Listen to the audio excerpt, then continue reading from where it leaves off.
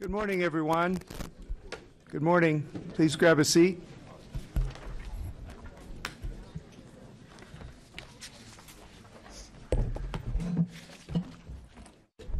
All right, thank you. Well, good morning. Um, You're at the uh, Palm Beach County Zoning Commission. Uh, Today is November 2nd, 2023. Uh, Can I have a roll call, please? Sherry Pavlik, Here. John Kern. Mike Kelly. Here. Glenn Groman, Here. Sherry Scarborough, Here. Lisa Revis, Here. Alex Brumfield III, Here. Mark Beatty, Here. Jess Sowers. Here. Okay, we have a quorum. Um, Opening prayer and pledge? Yes, please stand for the uh, opening prayer and the pledge. Lord, we ask your guidance today as we consider matters that will affect the safety and welfare of many people in our country, county. Help us listen with open minds to matters that are important before us and to act on those matters that will benefit those who reside in our area. Keep our minds opened and alert, our hearts compassionate, and our comments charitable. Amen. Amen. I pledge allegiance to the flag of the United States of America and to the republic for which it stands, one nation, under God, indivisible, with liberty and justice for all.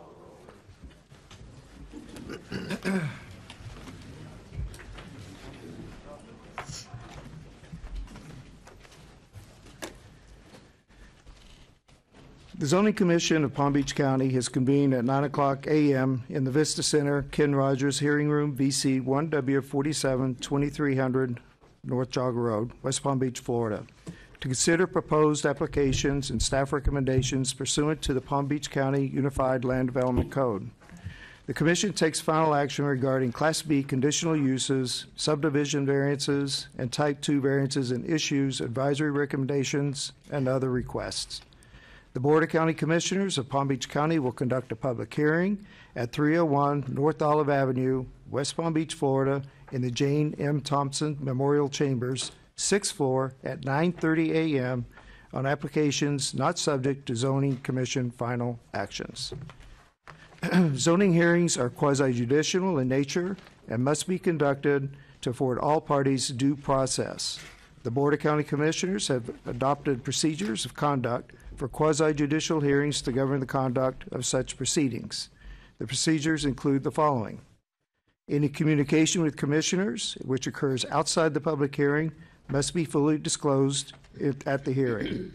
Applicants and persons uh, attending the hearing may question commissioners regarding their disclosures.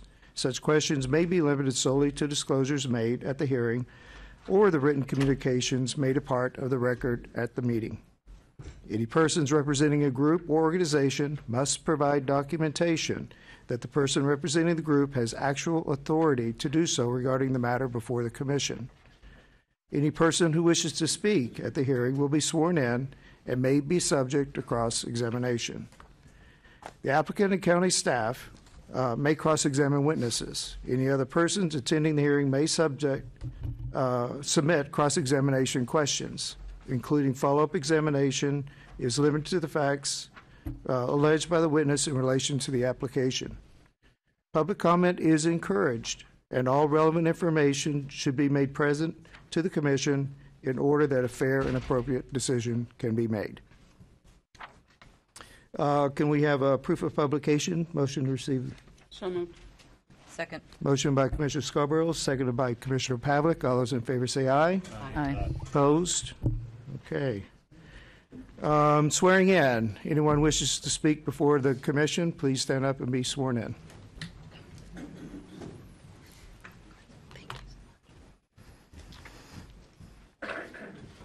Do you swear or affirm to tell the truth, the whole truth, and nothing but the truth? I do. I do. Thank you.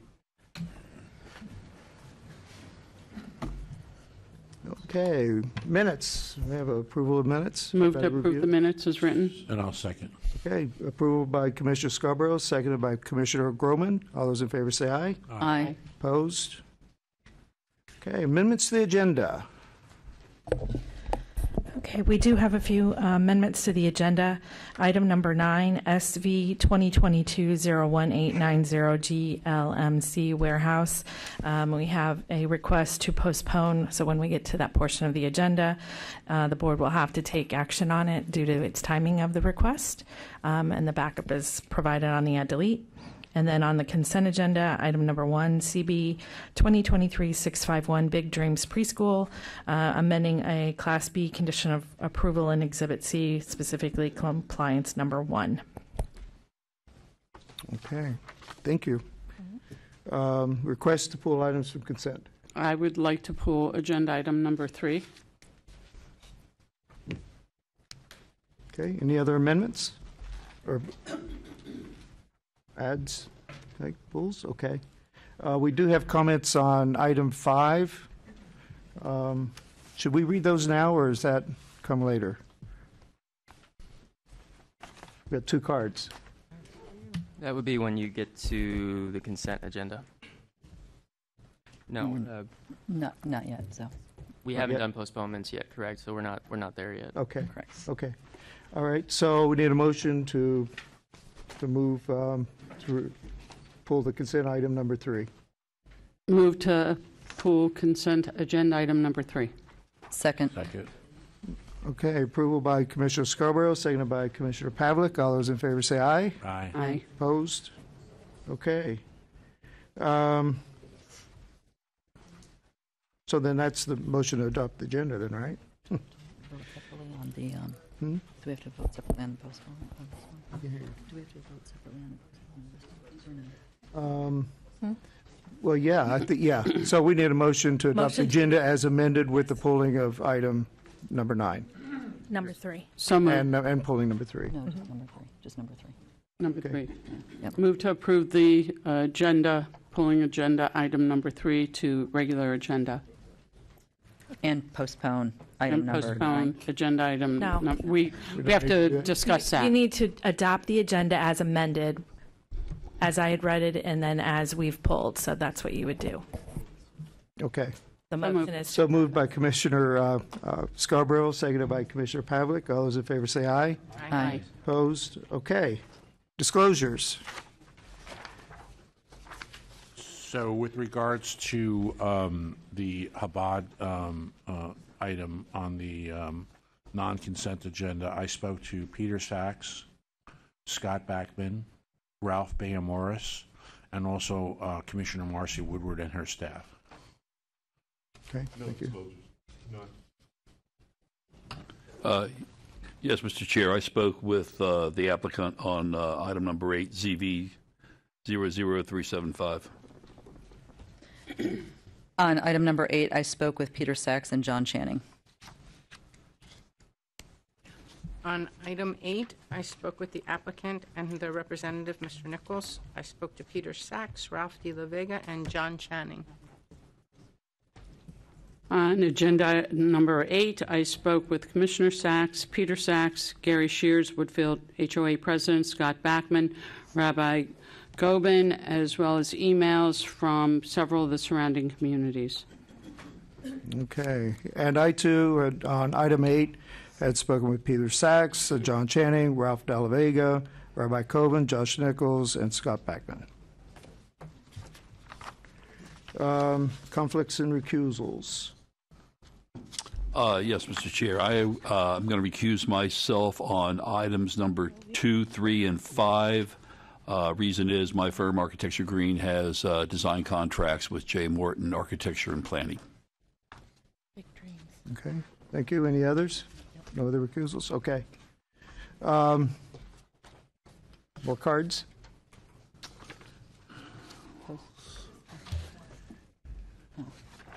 Okay. Okay. Okay. Okay, uh, here we go. Postponements, remands, withdrawals agenda.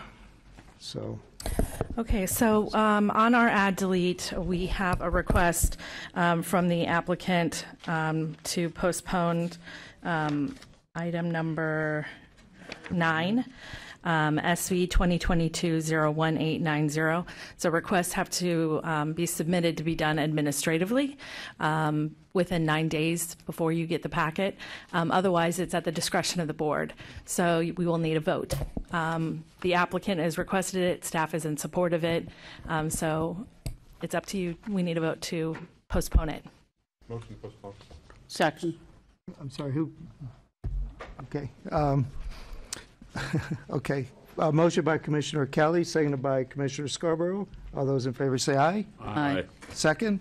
Or opposed? Okay, thank you. Um, Withdrawals. Okay, There are no to, the- withdrawals. okay, on to the consent agenda. Correct. So we have cards on item one and five, but we also need to separate uh, items two and five from consent. So Two and three. two and, oh, I'm sorry, two and three. Five's on regular, right? No. No. No, Three they're all- on regular. Item three is on We regular. pulled three from So- regular, so. I was- Two and five have to be separate. Right, so you have cards on item number one. Would you like a presentation, or would you like to hear from the people that submitted the cards on item number one? What is it? What do the cards say? Uh, On item one, Wish to speak? support and wish to speak, and support, and opposed and wish to speak, so. Okay. So at this time, then, anyone who wishes to speak on item one has has submitted a card, if you want to come up and... I'll call the names and have them. Okay. Yeah. So um, two, we've got two, so one at each podium. So uh, Linda, uh, uh, looks like Belmora, and uh, the other person, Prav- Pravina. Nar, Narl. I'm sorry. Penmanship is difficult for me to see on this other Hi, I'm. Linda Bemoris, but it was item eight. Oh, it says one. I know, I just got here. and Okay, all there was right. confusion. Okay, all Okay. right. So I'll move So that. item eight will come later. Thank All right. And then uh, gentleman on Clint Moore Road, 8345. Hi, actually, I'm for uh, item eight. My name is Pravin from Clint Moore Road. Oh, you're on Okay. I two. Okay. Okay, Yeah, all right. sorry about that. No worries. There we go. All right. All right, so we have t- comments on item number five. So um, actually, I have uh, uh, Bridget, but she wants to give her time to Ray Marcinkowski. So I guess, Ray, if you would come up to the podium, and you'll have um, your three minutes. Do we have to vote on that, or just give them? can we- No, give them the three minutes, yeah. The three minutes and the three minutes? Can they get six? It's at the discretion of the chair. If the person giving their time is present and can identify themselves, then it would be up to the chair to allow them to get the extra three minutes. Okay. Can you please state your name and address for the record, please? Ray Marcinkowski, 6666 43rd Avenue South, Lake Worth, Florida. Also property owner of the road to the north side of the project. Now, I really don't know what's happening. I can't seem to find out. But a year or two ago, when they went to rezone this, there's supposed to be a concrete panel wall along our road. And every time I talk to somebody, I get a different answer. So I don't know if the concrete wall is in the plans or not, or if it's been removed, or Do we want to have a Okay. presentation then to show that? Is that, so is that the question for staff to, you just want to know if the, if there's a concrete wall as part of the petition, part of the proposal? Yes, and if it runs all the way down Okay? the length of the property on the north side. Can we some- have some help from staff on that? The applicant has the answer to the question. Okay. Please state your name and address for the record, please. Hi, Lauren McClellan with J. Morton Planning and Landscape Architecture. There is a wall, it's under, con- the project's under construction right now, and there's going to be a solid concrete wall along the north side of the property. Yeah, I thought the wall was supposed to be built before the project started. Um, I don't know the exact timing and the conditions, but there is going to be a wall on the north side of that property, yes. Okay, and then I don't really understand what's supposed to be going in. I know they said a restaurant. Is it a Chick fil A supposedly? Um, so it's uh, replacing a gas station at the southwest corner of the property with a fast food restaurant, which will be a Chick-fil-A. Will traffic back up into either Hypoluxo or? Okay, I North think Creek? what the, what needs to happen is the app, this gentleman needs I'm to do all of his comments, and then we can respond to all of them versus. Yeah, we don't need to, need a debate. Yeah. Um, And I'm happy also to, to meet with you as well. Okay? Yeah, I, I think that would be the best thing if, if you guys got together, so you had a complete understanding, instead of debating it here. Yes, and I'd like to remind the board, there's no final action being taken today on this application. There, it's all subject to this board's recommendation. The adoption of, of the development order amendment would be at the Board of County Commissioners, which is not till the, I think, the 29th of November. So there's quite a bit of time between today and now for the applicant and the property owner to discuss the changes up to the site plan. hmm Are you good with that, with meeting with them and getting better understanding Yeah, on the? Who do I meet with? Um, she will give you your, her card. Thank you. Thank you very much. Thank you.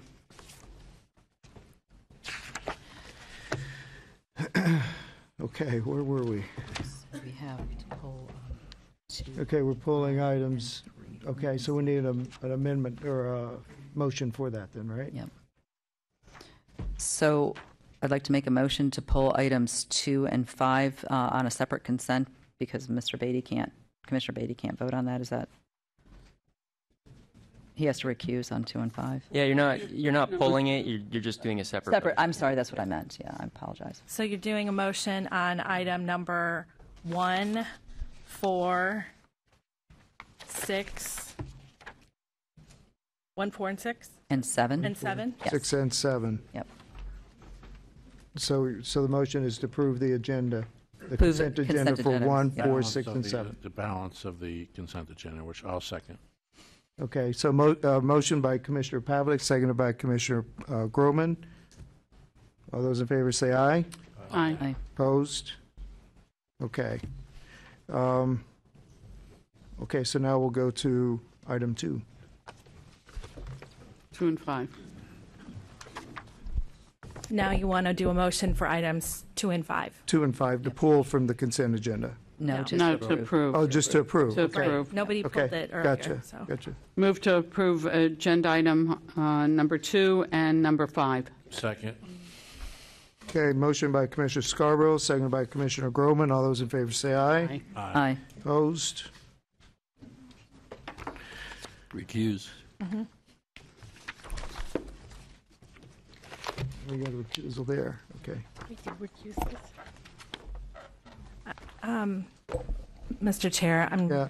I think I might be a little confused. I don't us, remember us doing conflicts and recusals. We did disclosures. We did. We did? We did, Okay. yeah. Yeah, Mr. Commissioner Beatty had, uh, Commissioner Beatty recused himself from two, three, and five. Okay, sorry. Okay, so that's the end of the consent agenda. Uh, That'll bring us to the regular agenda, and the first is items pulled from consent, which would bring us to item number three. ZVDOAW 2023-00372 Lyons Glade Center. Uh, The application before the board includes requests for a type 2 variance as well as a development order amendment. Turn it over to the applicant for a Yes, please. Hi, uh, Alex Aaronholtz with J. Morton Planning and Landscape Architecture. Um, happy to make a presentation, or we can ask if there was a specific question you had, and Yeah. I can do the full presentation if you would like. Yeah, I, I would like a presentation, and maybe a shortened version, but Okay. I'm trying to understand. I'm sorry, I'm trying to understand exactly what all the variances are for and, and what's going on in that corner. Okay. Um, so it's the Lyons Glades Center. Uh, it was built in the 80s. It's on the northwest corner of Glades and Lyons Road. It's not working. Okay. Uh, yeah, so it's about four 4.86 acres on the northwest corner of Glades and Lyons Road. Uh, we are requesting 12 type 2 variances. Uh, all elements are existing and constructed uh, as per the 1989 approved site plan. Um, so they've been there for many years now. And the other request is for a development order amendment to add and delete square footage of buildings. Uh, so it is zoned MUPD, as is most other parcels around that intersection. Uh, the request mainly stems from the, the existing center being expanded by adding this parcel uh, highlighted to the west. Uh, it was previously approved uh, for a car wash that was 4,000 square feet, and uh, that was in 2019. It was approved by the BCC, which included all of these variances, and then that site plan was just never finalized. So the the approval sunset, so we have to come back in and get the, the approvals again. Um, but this time we are doing it for a medical office building. Uh, so there's no more car wash. We're just medical office, northern part of the site. So the along Glades, you'll see a a expanded retention pond that there's currently one there today. It'll just be extended a little bit more, uh, and then we're adding a medical office building in the back. The existing buildings are remaining as as existing today. Uh, so the I'm going to go through the variances. There's 12 of them. Uh, eight are related to landscaping. Uh, so it requires it's the uh, right of way width, uh, buffer, the landscape islands, the divider median width. It's it's all just uh, dimensions of of landscaping that's been there for decades. Uh, so the right of way buffer you can see along Lyons is, is too too small. The divider median between these two parking areas is too small, and that landscape island width is is too small as constructed, uh, and it's all matching the approved site plan. Uh, additionally, foundation plantings aren't provided in front of these two buildings. Um, they have a colonnade instead in front of the parking area. Uh, the the other remaining four landscape conditions are for landscape island widths with, with the curbing specifically, the easements within landscape buffers, uh, landscape islands requiring curbing, and landscape island planting. Uh, so those specifically are are number eight and eleven are the encroachment of you can see the uh, fire hydrant there in the um, in the island. Those trees are going to have to be removed because there's a uh, water line that runs underneath there uh, for the fire hydrant. Uh, so that's more of a, a newer condition that the easements can't be completely under. Uh, that it'll be a 10 foot easement directly over top of the the landscape island, uh, and then the easements all, also overlapping the landscape buffer along Lyons Road. Uh, which is that same one that's reduced. Most, most of that happened because of right-of-way dedication over the years, so it wasn't the it wasn't a condition at first, but now that there's there's that easement overlapping, the, the width of the buffer is too small. Um, then again, that same divider median doesn't have curbing.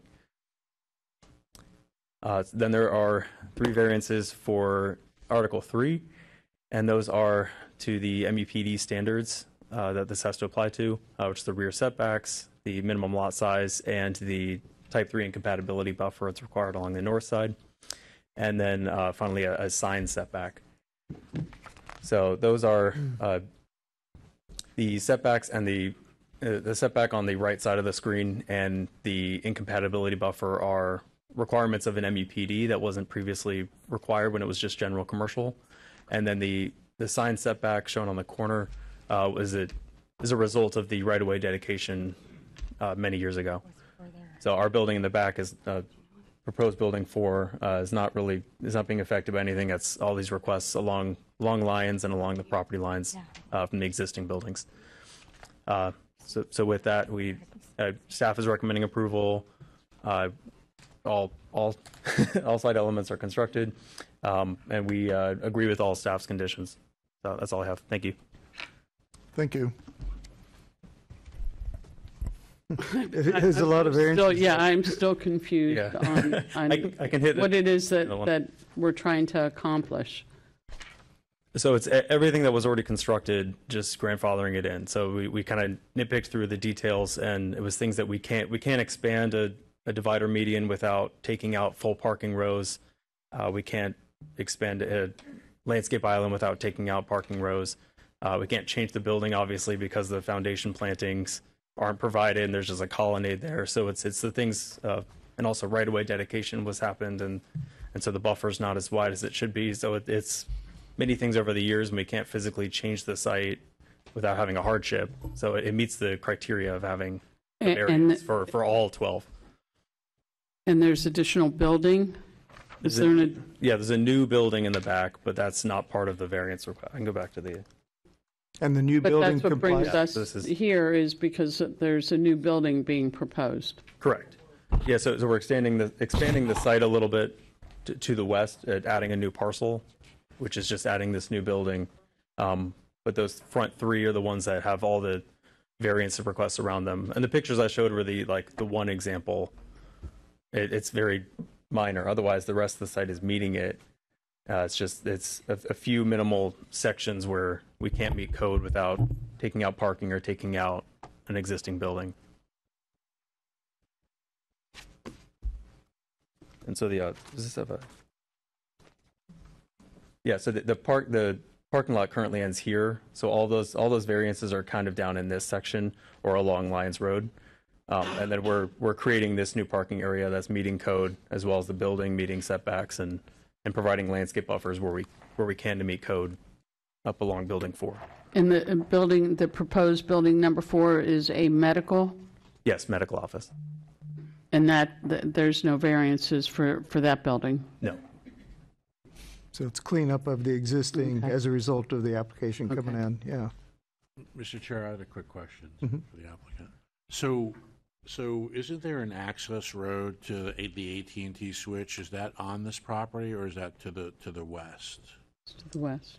Um, I mean, there's we're replacing an existing access road and, and abandoning that easement, but there's connection to to all facilities and and the buffer How- how do you through get- through the church property on the on the west. So my understanding is that there's a, there's a long access road currently along the west side of the property which goes to the AT&T switch. Yeah, 'cause, yeah, so we have it highlighted here. It's, it's a standalone parcel that has an easement, an access easement over it uh, that will be abandoning it. Is that- But you can see that there's a there's an access here from the church, and that goes that connects it connects through to to access those those utilities. Okay. Okay. Okay. Provide some clarification? Yep. Yeah. Okay, so since that was pulled, we need a motion. Any comments from the board or anything from staff? No, nothing more from staff. Okay. Um, Board discussion? Okay, you entertain a motion? Move to approve. Uh, let's see, where am I? A type 2 variance to allow a reduction in the width of the right-of-way buffer, type 3 incompatibility buffer, landscape islands, divider medians, and foundation planting, reduction in the building and freestanding sign setback to allow an easement overlap of landscape islands and right-of-way buffer, and to eliminate, and to eliminate landscaping protection measures and trees in landscape islands, and to eliminate a wall within a type 3 incompatibility buffer on 4.86 acres. And I'll second. Okay, we got a motion by Commissioner Scarborough, seconded by Commissioner Groman. All those in favor say aye. Aye. Opposed? Thank you. Thank you. Um, There's another This item, motion to approve 3B, to reconfigure the site plan, add deleted uses, and add square footage on 4.86 acres. okay, Second. Motion by Commissioner Scarborough, seconded by Commissioner Groman. All those in favor say aye. Aye. Aye. Opposed? Okay. Thank you. Next. Doing five. No? So that's the end of the consent agenda? the- Or the end of That item was number it. three, Okay, so that that was moves it. us on to item number eight. Okay, yep. Okay, that, so that ends consent agenda. We're moving on to regular agenda. Right. Um, So item number eight is ZV 2023-00375, the Chabad Chai Center. And the request before the board is a type 2 variance related to the reduction in a rear setback. Uh, We will turn it over to the applicant for a presentation and then staff. Thank you, Wendy. Good morning, Board. Josh Nichols with Schmidt Nichols, representing uh, Chabad Chai Center this morning. Appreciate the opportunity. So we'll go through the presentation. I know we have uh, quite a few folks on both sides here uh, today, so we'll kind of get through that and uh, hopefully give them some time to to discuss. Before I, so this this morning we have uh, Rabbi Gopin with us as well as Scott Backman, our land use attorney. I'm going to turn it over quickly to Rabbi Gopin to go through what Chabad is, and then he'll shoot it back over to me.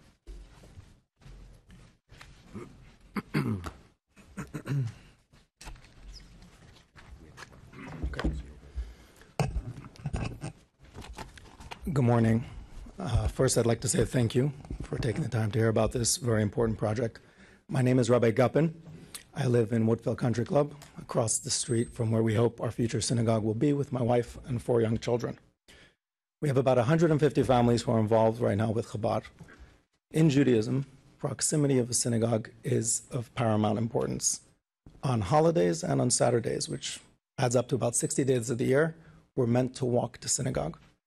So obviously, that requires the synagogue to be within close proximity to our community, many of whom are members in Woodfield, St. Andrews, and some in Long Lakes as well.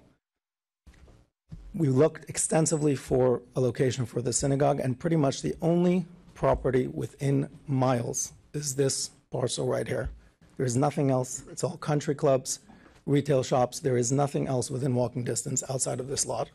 So we're very happy when we found this lot. It's zoned for a house of worship, and we figured this was it. Let me address that point the fact that it's zoned for a house of worship. You may hear a lot of things here today, but we're not here to discuss usage. Usage on this parcel is approved by right. Ag Reserve was designed for agricultural reserve as well as civic and community uses, such as a house of worship, which is what we're asking for today. So the usage is approved. We're here for one specific reason a singular setback. That's the only variance we're asking for. In place of the 100 foot setback generally asked for in the Ag Reserve, we're asking for a 60 foot setback, a reduction of 40 feet. About this setback, it impacts absolutely nobody. I know that's a very strong statement, but hear me out. Don't take my word for it. Read every one of the emails you've received in opposition. Not one of them mentions a setback. They'll mention traffic, they'll mention a school, they'll mention it's a residential area. We've already discussed that it's approved usage for a house of worship. We're not here to discuss that. We're here to discuss one setback. By their own admission, the setback isn't the issue. Now, the facts. The facts on the ground are the following the property to the north is a retention pond owned by the county. It's three plus acres. Between the retention pond and the closest neighborhood, which is Horseshoe Acres, where many of the residents are from that are in opposition, there's this three acre plus pond. There's a thicket of trees, probably 30 to 35 feet tall. The closest property line is about 500 feet away, give or take. The closest property is almost 600 feet away. A reduction of 40 feet in the setback has no tangible impact to anybody. Look at the staff report that was given to you today, and I'll quote Granting of the requested variance will not be injurious to the area involved or otherwise detrimental to the public welfare. Staff's own words. By their own admission, the facts on the ground, and based on the county staff report you've all received, a setback is not of any tangible impact to the neighbors. I think this should settle the case with regard to what impact that might have. I'd like to point out that we're not asking for any more square footage. It's the exact same size of what's allowed on that property. We're just asking to reconfigure the site and the footprint so that it'll be conducive to a synagogue and not have this long bowling alley type building, which wouldn't allow us to have a synagogue on the site. I know as zoning board members, you're tasked with a very difficult job. What is in the best interest of our community and all of its residents? In my mind, there shouldn't be a question here. The answer should be yes. This is exactly the type of project what the Ag Reserve was designed for. There's a clear and compelling need in the community, and the variance that you're being asked to give will have no tangible impact on the neighborhood. A synagogue is a place where people of all ages come to better themselves through study, through prayer, and through meditation. In the last few years, especially since COVID, we've seen a tremendous uptick in mental health, depression, and other issues. There's no question that a huge part of that is due to the fact that we were in isolation and we were not together. I cannot begin to tell you how many hours over the last few years teenagers, people of all ages have come to Chabad to volunteer, to give to others, to be together, to have a sense of warmth, of community, of being together. That is exactly the antidote we need. With everything going on in the world today, we need to add in that togetherness, in community, in warmth, and light. I think the synagogue will be just that place. Thank you.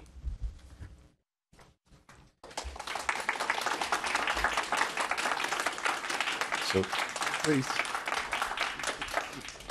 Thank you, Rabbi. So, board, I'm going to now go into some of the, the technicals and, and some of the things that the rabbi sent, said, um, show those graphically so you can kind of see what we're talking about. So, again, site location here is on the north side of Clint Moore and just west of Florida's Turnpike. As you can see to the top right corner is St. Andrews Country Club, as well as to the south side of Clint Moore is Woodfield Country Club. And those two communities uh, have now reached out, and they are they are not in opposition, and they make up about approximately 2,000 families within those two communities. Uh, we also do have some members in Long Lake Estates, which is to the bottom, uh, I guess, the southwest, and then you have Horseshoe Acres, which is uh, to the north of the subject site. Also, I wanted the uh, red dash line is the pedestrian connection uh, that is already provided uh, to be able to walk, because a lot of the parishioners do uh, walk to the facility or proposed facility. So let's just go a little bit of the property history. So 2002, or sorry, going back before that, the subject site originally consisted of 10 acres. So prior to the FDOT um, taking for the turnpike, we were at 10 acres. After that, uh, got chopped down to about 6.8 acres, and that was taking uh, 3.2 acres out of the uh, west, or sorry, the eastern parcel. Then moving forward to 2002, Palm Beach County acquired through eminent domain proceedings an additional four acres, taking the property down to 2.7 acres. So again, that drainage parcel uh, came out. They were compensated, but it was uh, due to eminent domain proceedings. So that rendered the site nonconforming. Moving forward, there was also dur- actually during that same time, around the 2002, there was a Lake Worth Drainage District 30-foot easement, as well as a 25-foot drainage uh, easement from Palm Beach County. Uh, so all in all, 7.54 acres have been eliminated from this site for development, which is reflects 75%. So we're trying to now build on 75 per, 25% of what was originally there. So we originally had three variances that we were requesting. One was the property size, the depth, and then the setback. Uh, staff actually worked. We worked closely with with staff through this process, and they were able to find a provision in Article One, and we'll talk about that in detail. But uh, that said, if you have eminent domain proceedings against the property and it's reduced below the the size and, and depth, you don't need a variance. But it did have one provision that said you still need to get variance, or you still have to meet the setback for the district. Well, setback for this district is 100 feet on the front and the rear. We only have 261 feet of depth for this property remaining, and 200 feet of that has to be for setbacks. So it, it's different than a lot of the uh, setbacks that you'd see in other districts. But anyways, here's our 40-foot rear setback variance, again, giving uh, 60 feet remaining. So this would be if we had to do 100 feet on each side, you're left with a with a small bowling alley shaped shaped building in the middle. Uh, so instead of it being a nice square where you can really design and lay out the interior, you get more of a stretched out, um, narrow building. It, I know traffic is not part of this, neither is really the site plan or the use, I know, but it will come up. But I just wanted to make sure that we showed the ADT chart. Very, very low traffic. You're talking about one turn every 10, 12 minutes or so uh, in the peak. Uh, so very low traffic. So a couple of points of the justification, then I'll show you a graphic that goes along with these. But again, with the eminent domain, with the four acres taking the 100 foot front and rear setbacks, leaving 61 feet for a building, uh, for a building envelope is just not feasible. Uh, we have a 600 foot separation from the nearest residential dwelling to the north. Uh, the reduced setback does not increase the building coverage beyond what the comp plan allows. So we're not asking for a building square footage or an FAR or coverage that would represent the 6.8 acres that we originally had. We've we've narrowed that down to the 2.7. So we're asking for that 15% building coverage based on the 2.7, the the current size of the property. Another thing we looked at too is if if Palm Beach County had had done this as an easement, the drainage parcel, we'd be at 6.8 acres. We'd have the we'd have the setback, we'd have the 6.8 acres, we'd be above the five minimum, and we wouldn't be here today. Uh, so that that's interesting too. Why it wasn't done as an easement. Also, the uh, the size, yeah. So we would be set back 446 feet if that was done as an easement. Also, the drainage parcel could have been in a different configuration. Could have been in an L to give us the 300 feet. Could have been in a lot of different ways. So again, it really all these things I'm putting in your head because th- these are impediments to the site and to be able to develop. So again, just to show you in graphic form. So you see the site site plan there at the bottom uh, bottom right. And you see also, uh, which I'm sure will come up in some of the public comments, but the school that's already approved. Remember, already approved on the books, the school to the west. Um, I've highlighted the buildings that are approved in blue. And what's interesting is they actually have a 50 foot side setback. So they have a 50 foot side setback to the same drainage parcel that we're asking for a 60 foot setback to that same exact parcel. And their, their buildings are closer to residential. But what I wanted to show on this was that we're about 445 feet from the place of worship uh, to the north property line, actually to the drainage parcel's north property line. We're approximately 600 feet from this proposed building to the nearest dwelling. And as the rabbi actually mentioned, there's about a 100 foot swath of native, uh, not native, it may, native, but of plant material that's uh, pretty thick uh, to the north end there that separates those two parcels. So again, this is, um, you know, staff in our office kind of worked through was uh, this code provision in white. So it's uh, the lots reduced by eminent domain uh, for any size or configuration below that's required by the applicable zoning may be developed subject to the following. So again, we, we meet A, and I think why staff is kind of toeing the line on the denial uh, or uh, recommendation is that we still have to meet the setback. Well, again, this is a one size fits all code requirement. Not every site is going to be the same. Not every site is going to have uh, similar setbacks. So, like I show in the bottom here, is um, all the districts except for there's some of the other rural districts are going to be you know 50 in the front 40 in the back you see some uh, most of them are around 50 in the front and then but only 20 foot rear setback again this is a 200 feet worth of uh, total uh, total setback so the question i kept asking myself is if the code allows for a variance relief from 5 acres to 2.7 almost half the property and the code allows from 660 feet to 261 without a variance then why would we not be able to get relief from 200 feet worth of worth of uh, setback? So I just kept asking myself that as I was going through this. So um, we believe we should be able to to request that, and that's why the variance process is there for hardships. These are the permitted uses. So you know, pretty much any of these other uses that are that are shown here are going to have a building associated and would need the same same variance relief. I won't go through these in detail. I know I've kind of touched on these, but we do have to have these as a as a procedural uh, re- requirement. But uh, special uh, circumstances and conditions that are peculiar to this parcel of land that were not um, that are not applicable to other structures. So the special condition is obviously the DOT taking, the Palm Beach County taking. Those two combined uh, severely reduces the property size. Special circumstances and conditions do not result from the actions of the applicant. We just went through those. Uh, those are from public agencies. Uh, granting the variance shall not confer upon the applicant any special privilege denied by the comp plan to other parcels of land. Um, again, so the eminent domain proceedings on the property have rendered the site very narrow. Uh, building envelope. And there are other properties which I'll get into that right around our area that have similar situation uh, that are in Horseshoe Acres. Uh, literal interpretation enforcement of the terms and provisions would deprive the applicant of rights commonly enjoyed. So that's what I want to show you now is that there's uh, in Horseshoe Acres, again, they're under the same AGR requirements. There's 18 lots within Horseshoe Acres. That's 50% of those lots in there are one and a half to two and a half acres. So they're below the five acre threshold, right?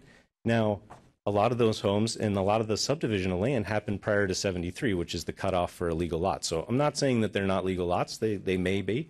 Um, also, many of the homes on there do not meet the minimum 100 foot setback. Again, could have been built before the code, that's fine. But there are some vacant lots in here that that are uh, going to have to build at some point, and they will have to meet that 100 foot setback. And I would hope that they get a similar consideration because, again, they were subdivided properly prior to 73, but they don't have the ability to meet that setback. And again, these setbacks are are pretty stringent um, for this area. So again, very similar situation, similar um, compatible uh, property size, and we're not asking for anything different than what's what's uh, in the same character of the neighborhood. So again, just finishing out the, the seven criteria, um, granting the variance is the minimum. This is the minimum um, provided to, to make reasonable use of the land and provide a building that works for, for their purposes. Um, it is consistent with the purposes, goals of the comp plan and the code. Again, asking for that FAR only for that 2.7 acres. And uh, granting the variance will not be injurious. Again, I think staff uh, agrees with that as well, that uh, won't be injurious to any of the public uh, for a rear setback to a drainage parcel with that, uh, hope to answer any questions and uh, appreciate the time. Thank you. Staff? The clicker?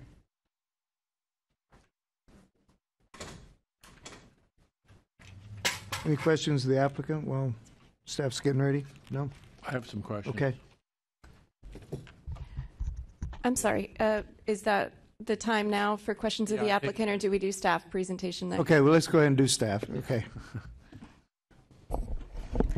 Okay, good morning. Wendy Hernandez, the Deputy Zoning Director. Um, I'll be presenting the Chabad uh, Center application. Uh, the site, as uh, Josh had already mentioned, is on the north side of Clint Moore, um, east of Wagon Wheel. It has an ag reserve future land use and an ag reserve zoning, and the acreage is 2.77. And the request before the board is a reduction in the rear setback. 100 foot is required, and their proposal is 60 feet. This is the uh, zoning map. Uh, the subject site was originally part of a larger track, um, and, and he had given some history as well. In April of 20, 2002, the county acquired the northern half through eminent domain um, to establish roadway drainage, and as a result, the southern portion of the track was reduced in size. And through the eminent domain procedures, the property owner is compensated during those uh, presentation during that um, hearing process. Article 1G in the ULDC states that when a lot is developable, uh, initially requested variances for the reduction in lot size and depth are not required. Um, however, the same portion of the ULDC also states that setbacks have to be met. Uh, now, with the AGR zoning district, I will point out um, in their presentation, they said that the place of worship, um, again, is not part of this analysis, but a place of worship is not by right. It requires an administrative approval. They don't go directly to the building division um, for a use approval, it requires an administrative approval. I'll also point out that in the AGR zoning district, a place of worship is not the only use that can go on this piece of property. Ownership. The current property owner purchased this property in 20, 2013. When they bought the property, they were aware that it was less than the size of an AGR district. They proceeded to move forward with that um, sale.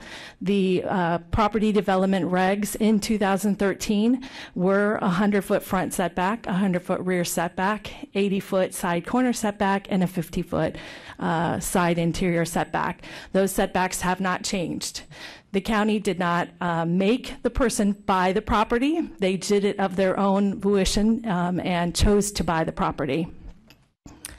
The current property owner owns the property to the west as well, which is the Randazzo School, um, approved for 500 elementary uh, students, as well as a 240 daycare um, and 26 queuing spaces. These are the two sites side by side. Um, the one in red is the subject of the subject variance. Uh, this is the proposed site plan, and it is preliminary, um, but it is necessary as it relates to their request um, because they are proposing a 60 foot uh, reduced uh, 60 foot setback rather than the required 100 foot setback. They are proposing a place of worship, which again um, is at their request, um, and it is not subject to an, use approval by the Zoning Commission. It is an administrative use approval. Parking spaces, 83 are proposed, and their access is proposed from um, Clint Moore Road. This approval has not been granted yet um, and is subject to a decision by the board um, for the variance. The Randazzo School, if it comes up during um, public comment, is approved. It was approved in 2006. It was a public hearing application, and the board approved it. Uh, there is a final site plan approval, um, which incorporates two buildings for the the school, um, roughly 500 students, 240 for the daycare, and an office space, along with parking and queuing and uh, recreation areas for the students that attend the school. So the standards. The standards for variances apply for anybody that's coming before the board, um, and staff is recommending um, denial on uh, six of the seven standards. And um, part of our analysis discusses um, that this is self created. Um, they bought it, they bought the property. It was their choosing. They're choosing to do a use. They're choosing to do the building in that particular uh, dimension and, and design. Uh, there are other design options um, that they can meet. They can choose to have a different use on the property that may be better suited for this subject property. So there are other options uh, for this particular property owner. So we've received several contacts from the public, both in support um, and in opposition for the subject request, and staff finds that it doesn't meet the requirements of the variance standards, um, and therefore we recommend denial. Um, But if the board chooses to approve, um, we do have proposed conditions of approval. I don't know, if- Lisa, if you have anything else to add? Yeah, I would like to add something. So, what makes this different th- to the other items on the agenda is in large place because the property owner bought the property, and the property owner is not the Chabad. The property owner is the property owner that owns this school property, this school approval. And they owned this property much longer, the one in the, the Randazzo School. This is actually two lots. This is two five acre lots next to each other. And you can see on the site plan that they have future development. Um, this is actually two individual lots. And a decision was made by the current property owner to buy the little red box to go next to its yellow box. Also, decisions were made on how to orient the access into the yellow box, which is the Randazzo School, for the access largely in the middle, well, a little more towards the, the west. And what will happen with that school configuration is that anyone coming from the west will do a U turn on Clint Moore for their children to queue up in those 26 stacking lane, you know, parking spaces, queuing spaces, not parking spaces, to get into that school. And there is the cross access proposed here. But again, if you look at the alignment of that, um, there's also an awkward entry into that site as well coming from the west. It might be able to be navigable, and I don't know if uh, land development or traffic would stop people coming in from the west. But, you know, this is decisions by the property owner on to sell off this 2.7 acre property to the Chabad rather than incorporating or doing some other configuration with his existing two properties. And this is why, compared to some of the other variances on the agenda, where we have a property owner that's has a zoning approval from 1989 and they're recon, you know they're just trying to bring it up to current code. There's there is an opportunity for the current property owner to do a little bit of a different type of configuration between the two properties that could achieve the both uses in a manner that has improved connectivity. And all, right now, he's looking to sell off this 2.77 acre property to the contract purchaser, which is the Chabad, but right now it is owned by the same property owner. And that's something that I wanted to point out of why this is, was a challenge for us. This doesn't happen to be something that the property owner owner has owned for years. The code has changed. This was always purchased subsequent to the purchase of the Randazzo School. So I just wanted to point that out. And thank you. Okay, thank you. Okay, any questions of um, the applicant or staff? Commissioner I Groman? questions for the applicant and staff, but I'd like to talk to the applicant first and then staff. Okay.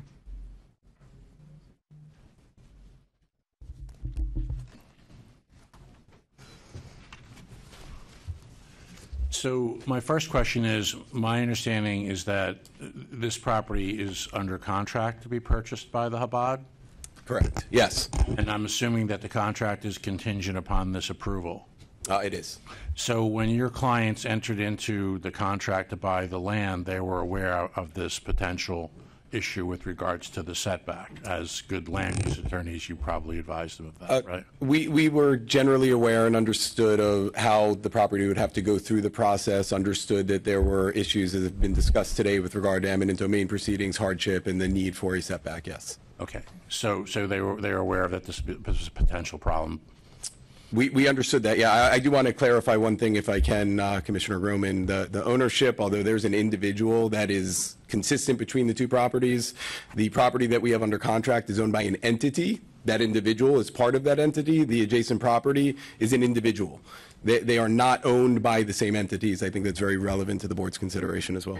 So, so as part of the presentation that you made, it, it seems. I'm, I'm sorry. The, the the mailing address for the tax bill is the same exact address. They might have different LLCs, but at the end of the day, if you look at the organization on Sunbiz, it's it's essentially the decision making is behind. Understood, but they're, they're owned in different entities. From a, from a They're corporate, from a owned- legal standpoint, they're, they're owned separately. Which both have the and same individually. tax mailing address. Sure, not going to argue with that. So the same individuals own the different LLCs that own the property? There, there is an individual that owns one property, and there's an entity that owns the other. And who owns that entity? Uh, what's his name? I Same, don't- same person? Simon. Okay. So during your presentation, it seemed, you seemed to indicate that the, that somehow um, the issue of the prior um, um, uh, uh, dedications or eminent domain proceedings somehow gave basis to grant this, this, this, um, this potential variance? How, how, how is it a pre-existing, ver, uh, pre-existing eminent domain proceeding or actions by the county or the Lake Worth Drainage District, which are all on the record? How does that support your argument that somehow a variance would be given when all that stuff took place before your, your clients put it under contract? I've been doing this a long time. If there's no, I, I don't know that I've seen a, a clearer instance of a hardship on a piece of property than this particular situation. I, I get But pre-existing. the hardship was created by the prior owner by agreeing to the eminent domain and allowing the easements on uh, it, right? No one agreed to an eminent domain. Eminent domain is a taking by I a understand governmental They were agency. compensated, they got money for it. So they got money for that, and now they want to sell the property, and they, don't- as, as if that they didn't get money for the eminent domain that took portion of the property, right? Property was cut in half. The code says you can, you, you don't need to meet any of these standards. You need to meet setbacks, and we're here to ask for a variance. If this property were 300 feet deep, we wouldn't be asking for a variance. If this property were five acres in size, we wouldn't be here asking for a variance. Okay, moving, moving right along. The other argument that was made is that somehow the um, parcels that are within Horseshoe Acres um, that were, that are potentially non-conforming, that forms an argument for, for, for granting this variance? Sure. So those parcels are residential parcels, they're not, they're not, they're not. All of the parcels have the same zoning. Uh, It shows several of the criteria that, that we're not being given a special privilege. There are undersized, non-conforming parcels immediately adjacent to this one. They they're res- absolutely but meet the variance residential criteria. parcels. All those parcels to the rear are residential. They're all AGR. They could have the same uses on them that we could. Zoning's exactly the same. Land use is exactly the same. Um, In his pre- presentation, well, let's go, let's go to the school. Is there any relationship between these entities and, and the entity that, that's seeking to purchase the Chabad and the, and the school? There there is no relationship between this Chabad and the owners of the property or the property that has the school that's vested on. But you're familiar with the background concerning the school, how that, that kind of got in place, put in place? The Randazzo School that's vested on the property has no affiliation with the Chabad, no. But that was approved in 2006, and the only reason why the approval is still in place isn't that because of the fact of the emergency orders of the governor, and that had, had that approval expired, a traffic study would have been required for, for, a- for a new, a new. school? Commissioner, with all due respect, we're not here to talk about a school. We're here to talk about a place of worship and one setback. Nothing that's before this board today has anything whatsoever to do with the school, to do with traffic, to do with the use. Why is there a cross-connection between the properties? Because this county requires it. Okay, all right. Um, In his presentation, the rabbi indicated that um, this is going to be a house of worship, but he also referenced the fact that there'd be studying taking place. Is there any intent to have some sort of a school component to the, to the, Not to this place of worship. What the rabbi was referencing was Talmudic studies, uh, you know, the manner in which they practice in their religion. And finally, you do acknowledge that the setback requirement is in place in, within the ULDC and applicable to the property? Sure, absolutely. There's a 100-foot setback on either side, and we're asking for a variance from the setback to the north to be reduced from 60 feet to 40 feet, which, by the way, if we were 300 feet in depth, we wouldn't need. We would be at the exact setback that we would But need. the reason you're not 300 feet in depth is because the prior owner agreed to a eminent domain and got paid for it. No, the reason that we're not at 300 feet in depth is because the county came in and took property for a drainage parcel to the north of this, which creates a clear hardship on this property. So um, I have no further questions for the Thank you. applicant. So staff, for Lisa, um, am I missing something here? That the, the, the, all of these eminent domain proceedings and, and easements and Lake Worth Drainage District, that was all pre, pre-existing prior to, to this application, isn't that correct? Yes, it's in the early 2000s. The property owner uh, was, at the time, which is not the current property owner or the applicant, was compensated, I believe, around $800,000 for the rear portion of the property by the county, and uh, unless um, Olive would like to elaborate in any way on that. Yeah. So that is correct. Um, and it was actually, it didn't go to trial. It was um, Settled. pre-trial settlement for that 838,000. So the property owner voluntarily agreed to it, it wasn't adjudicated? Correct. And finally, can you, can someone tell me about, uh, uh, my understanding is that also that, that this was one, this, both parcels were one, were part of one greater piece of property. Was there some illegal subdivision or something that took place? So the parcels, is it 119 and 120? And then the parcels to where the school is, they were all for, prior to 1996, they all were one owner. They were never legally combined. Then around 1996, they sold a portion and created a legal subdivision, which generally created those three separate parcels that you see. And then the county purchased the drainage tract, the right-of-way tract. So there was in 1996 an illegal subdivision. Okay. And one quick question for, for Lisa. So uh, am I correct in assuming that the, the reason the, the school approval is still in place is due to the emergency order function of the, of state statute, which can, extended those approvals?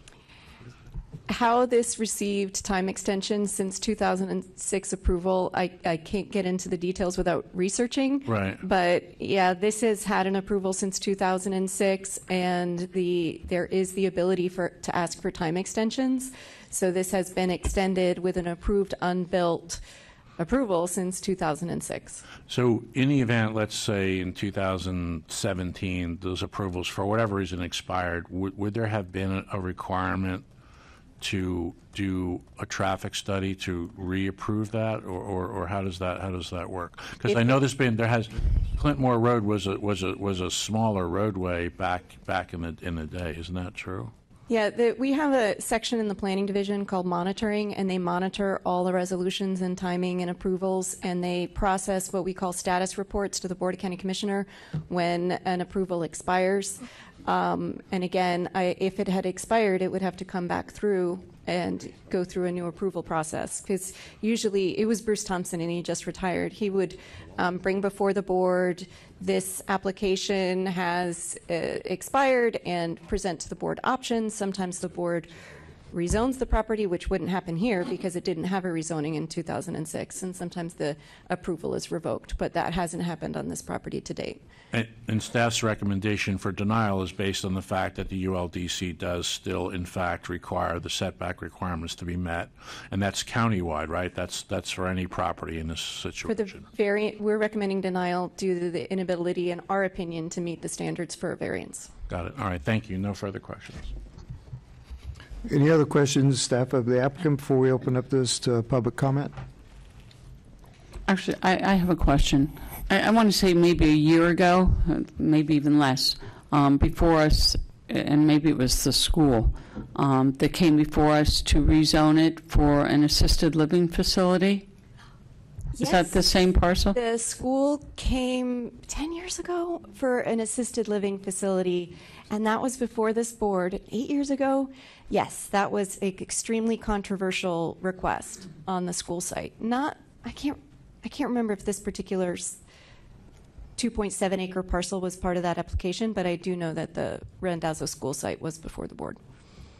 Okay, and that, and that, the public outcry was, they did not want the assistant, what, what else could go on this parcel land? I know at one time, this goes back years ago, the post office was looking at it, and um, that was a huge no. Yeah, the Ag Reserve uh, straight zoning district has more uses available than the Ag Reserve PUD preserve areas.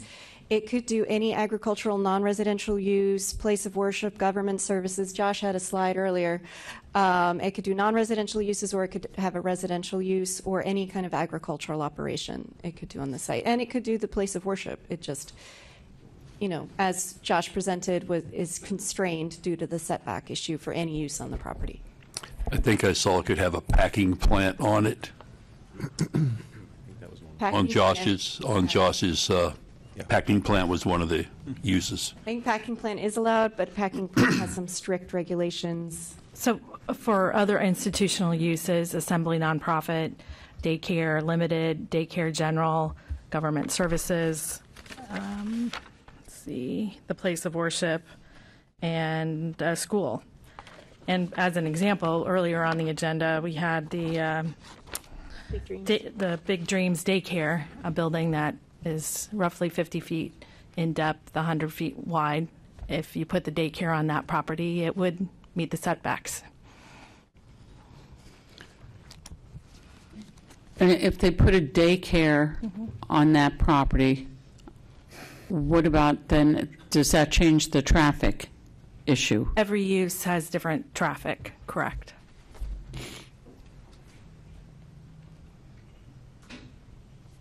Okay. Commissioner? Yes. Um, I'd like the applicant to clarify, how far is the nearest property owner to the back of the Chabad? It's approximately 600 feet. And you're looking for a 40-foot variant? Correct. So you're impacting a drainage lot? It's abutting a drainage parcel. That's correct. And, and you did say on the traffic that it was minimal? Was it 137 trips? About 130 ADTs, average daily trips, and then in the peak, which is what they measure, is about six, uh, six trips per hour in the peak. So it's going to generate minimal traffic? Very minimal, yes. Thank you. Uh, I have a question for the applicant. You're 600 feet from the nearest residence, and the school, as I saw it, looked like it was maybe, uh, do you know what that distance is? Looks like it was no more than a couple hundred feet. Yeah, I think Josh has it on one of the slides.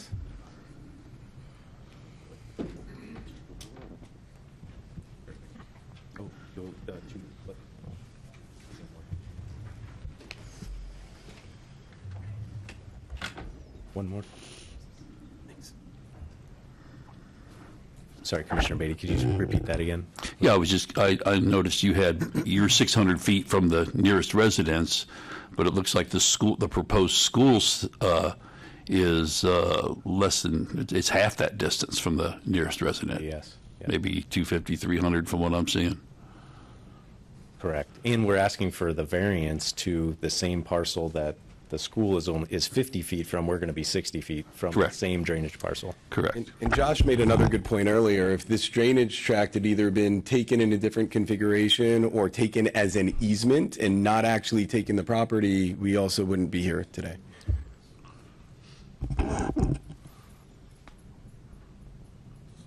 Thank you. So how does the school have less of a setback? This, these, the setback on this, that particular is a side setback. It's a side, yeah. The one in the rear, the one, the Yeah, property. the one in the rear. Yeah, so the, the red that's highlighted is a side setback. This particular property owner has a same side setback of 50 feet. It's just that the request that they're asking for is a rear setback. And even the school has a 100-foot rear setback, which is the north property line.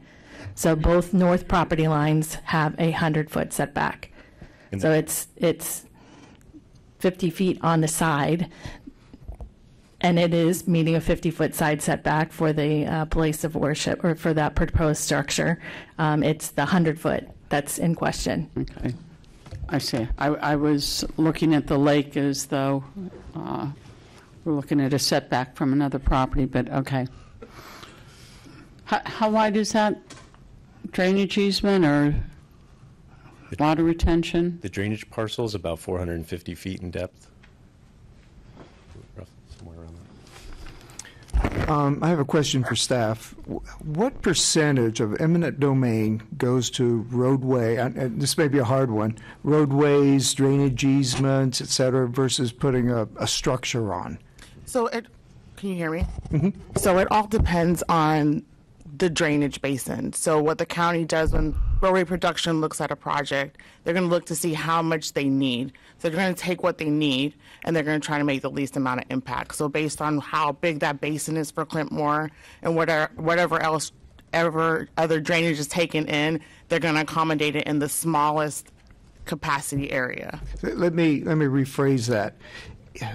Has there ever been an eminent domain to build a, a prison, a, a- physical structure, a fire station, a police station, something of utilitarian I don't know public that need? answer. So it's usually roads, open space, From drainage? engineering's perspective, yes, it's Okay. typically for drainage or roads. Additional right of way for roads. Okay, So this is actually right of way. We consider this to mm-hmm. be part of our right of way. okay, thank you. I have one question. If this was taken for the widening of Clint Moore Road, correct? That, that's why the county purchased that, was for Clint Moore Road? So I don't know all the details, but it is to accommodate for the drainage for the roadway and whatever other, however the basin analysis was made as far as drainage goes. So it's to accommodate for Clint Moore Road and then whatever, whatever other areas were draining into Clint Moore Road. I just find it odd that it's in the back and it wouldn't be right up on Clint Moore Road. So I don't understand why it was done that way. Um, yeah. So, but they at the time they make that analysis and they they chose to do it that way. Um, I did mention earlier that there was um, a subdivision of that land, and um, that might be part of the reason as to why they chose that back piece versus the front piece, which was part of that illegal subdivision. Well, I would imagine that also that was done to provide that transition between whatever was going to be built in the residential area. Gave that nice big buffer right there. Yeah, I would that- think that would be the rational reason to put it there. Yeah, and, and access. There's no access. There would be no access if you had the uh, drainage in the front. You wouldn't be able to get to the property. Uh, There was also quite a bit of documentation to that point in the county's file, a number of documents that we've received that kind of confirmed, and and again, we weren't there, we don't know the specifics of it, but, but the developable nature of this southern parcel, given the taking. There's backup and documentation from various county representatives at the time of the taking that this property would still be developable. Yes, there's a letter from the planning director at the time saying that this, uh, the loss of that acreage wouldn't hinder the ability for the property to be developed with one unit. At the time, a place of worship was a Class A approval at the board. So a lot of the focus was on the permitted and DRO approvals. um, And that's the documentation we have the planning director was, you know, this won't hinder your ability um, to develop residentially or agriculturally was the finding. So. Right, so the, in other words, develop the land following the rules. Okay, thank you. Any other questions? Staff for the applicant? Okay, we'll open this up to public comment. We'll read cards. Um, As um, Commissioner Pavlik reads your name, please, or do you want to do this part? No. You can use either, either podium, and uh, please state your name and address for the record. So I wanted to just state that we have 10 cards that they do not wish to speak. Um, Seven are opposed, three are in support. They do ask that their um, comments be um, put into the record. So do I need to read them, or can we just submit, right? Okay. And then I have 18 cards that wish to speak. Do we want to give them the three minutes, or do we want to have a discussion about that? It's up to the 18 chair. cards. 18 cards, do we want to give three minutes, or do we want to put it down to Three two? minutes. Three minutes, okay. All right, so we were just having a sidebar. Your uh, typically three minutes is allowed, but because we had so many cards, there's been times where you make an adjustment to that. But we are going to go ahead and give each person that is called up that wants to speak their three minutes. Um, I will apologize ahead of time. Um, phonics is not my strong suit, so I may massacre your name. I apologize. But as I do call you up, um, I'll call two people, go to either podium. For the record, you need to state your name and your address. So first, it looks like Rod Sheldon and Jake Shalom. Shal, sh- sorry.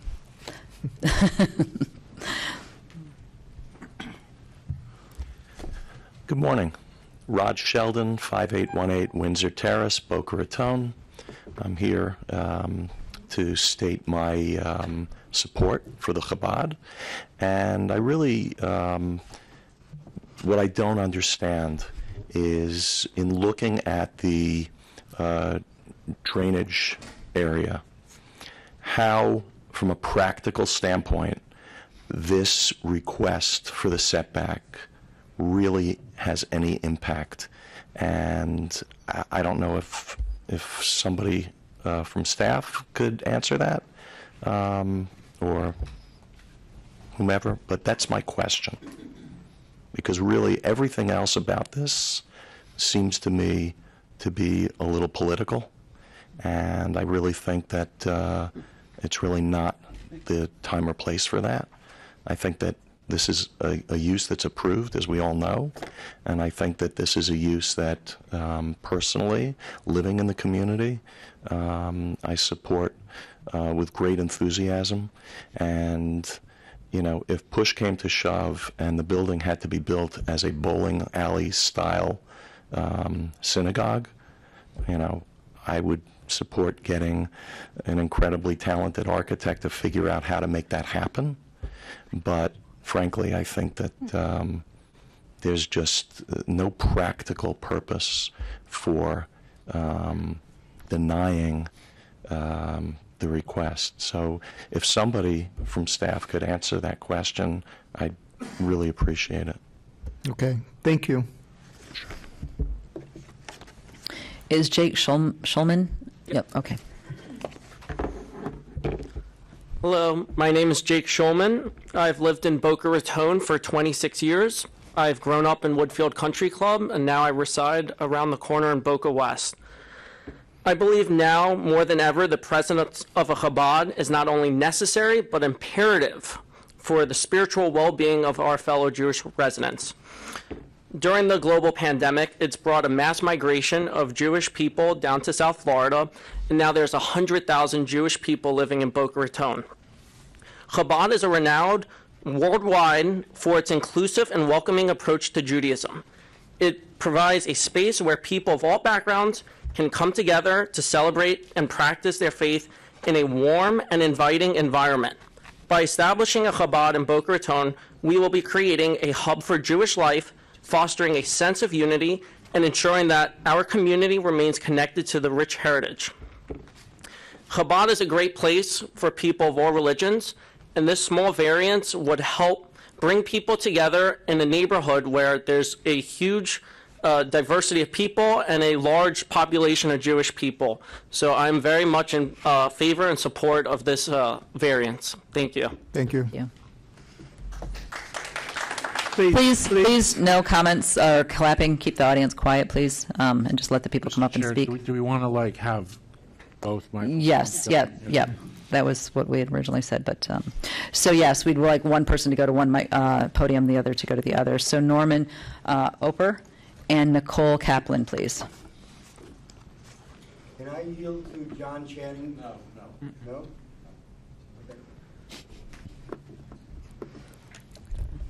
Hi, my name is Nicole Kaplan. I live at 6483 Enclave Way in Boca Raton. Um, I'm here today to sort of speak in a triple role. First, as a very close neighbor of the land for over 10 years. Second, as a real estate attorney, not for this case, but more in general. And third, as a supporter of the Chabad plan. So, as a neighbor, a green space is nice. I think a lot of this uh, conflict is that people love this green space. It's been around forever. I get it. It's nice to pass a green space. But realistically, something's going to get built there eventually. Um, but if we want to keep something there, it's going to be small, aesthetically pleasing, and very low density. Um, as a real estate attorney, this land has already been approved for a house of worship or is a, an administrative approval. Uh, variance makes practical sense. It creates a more aesthetically pleasing building than a little bowling alley that still could be built, but it will just look awful from the outside. It won't really make any sense from the inside if it ever wants to get sold or changed. It doesn't really work so well. Uh, from a retail or other use, any other use, a mulching, a chipping center, those were some of the uses that could have been done. But do we really need an eyesore on Clint Moore Road? Do we really need another CVS on Clint Moore Road? No. This is very low density, very low use. And finally, as a member of Chabad, we've celebrated holidays and occasions with the Gopin family and local families, but we need a permanent home base, somewhere we can all congregate. Um, in the past few years, hundreds of young families in the Oaks, in Boca Bridges, and Seven Bridges, they've all moved to Boca. There's a need for community now more than ever.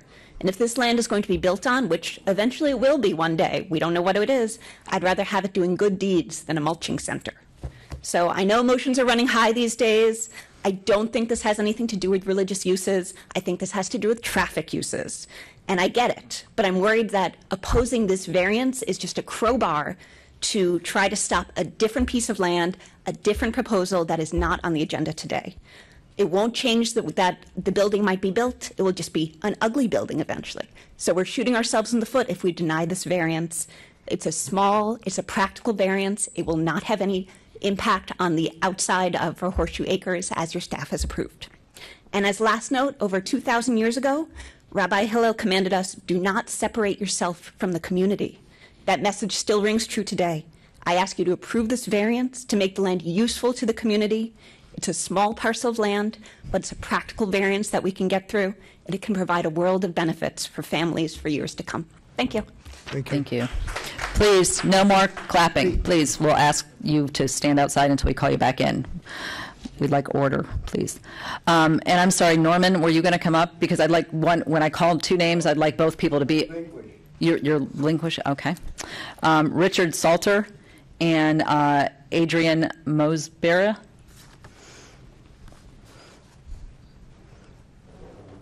And if, do you, do you wish to speak or not speak? Not here? who?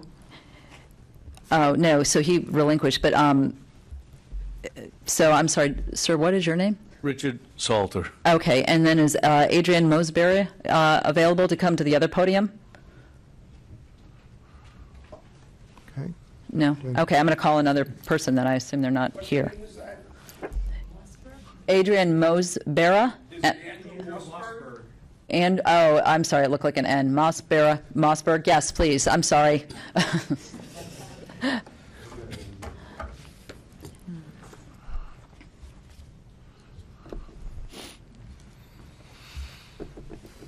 Go ahead. Yeah, hi, um, my name is Richard Salter. I live in Horseshoe Acres. I'm uh, um, one property down from the site, and, um, or two properties down from this side, one property down from where the school is going to be.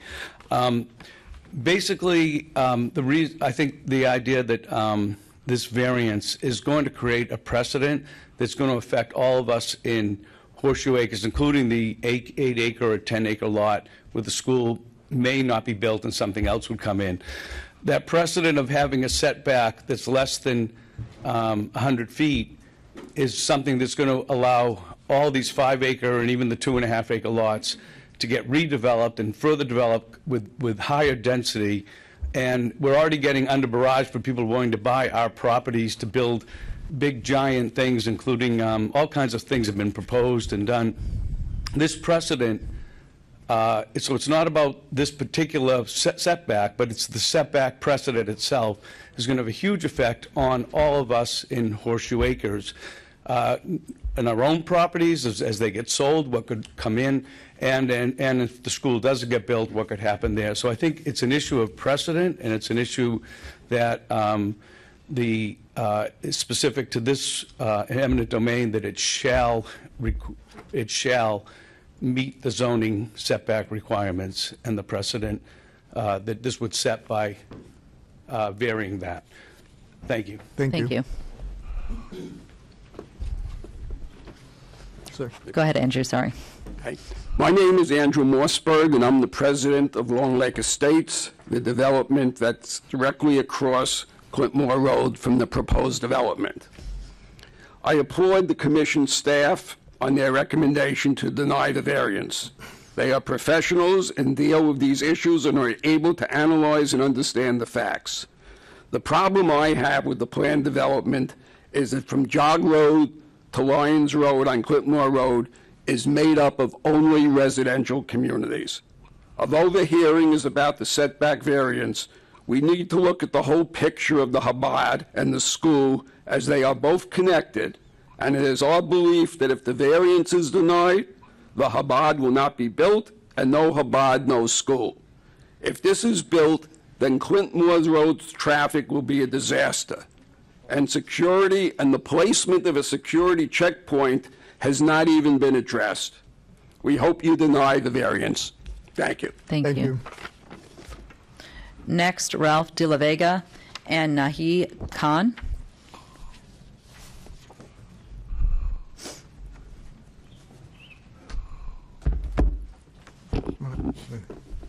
I requested not to speak.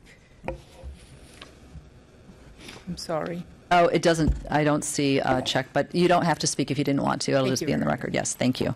So then can I also have Eric uh, Newman up to the other podium? Go ahead. Okay, Uh, Good morning, Commissioners. Uh, My name is uh, Ralph De La Vega, and I live in La Rivage. La Rivage, it's at the corner of Clint Moore Road and Lyons Road in the Ag Reserve. We are the, as far as I know, one of the few developments in the agricultural reserve that have an 80-20 split. 80% of the land of those 40 acres that make up La Rivage is a preservation area. The 18 homes that reside on the 20% is where I live. I live at 17155 Avenue Le Rivage. Before I bought the property at Le Rivage, one of the things that attracted me to that property is the zoning, the low density, and all the criteria, including the setback, because in addition to the, the horseshoe acres, we at Le Rivage have requirements for setback so that we have a clear view of the beautiful present, preservation area in our, in our properties. We think by granting variances to adjacent properties, you endanger our own property by future variances. We think that the owners of this property that are being questioned knew, just like I knew before I moved into La Rivage, what the criteria was for zoning, for setbacks, and for everything else. And I'm here to tell you that we're very supportive of the staff decision to deny the requested variance. Thank you very much. Thank you. Thank you. Good morning. My name is Eric Newman. I live at 17731 Lake Azure Way, Boca Raton, Florida, 33496. I've had the privilege of living in Boca Raton for about 18 years now. And for the past four years, my family and I have lived in the Oaks community, which is just down the road from the subject property. I've been affiliated with the Chabad organization since college. Um, later on in life, both of my older children attended religious school and were bar mitzvahed with Chabad. Chabad has always been a very valuable source of support and guidance in our lives.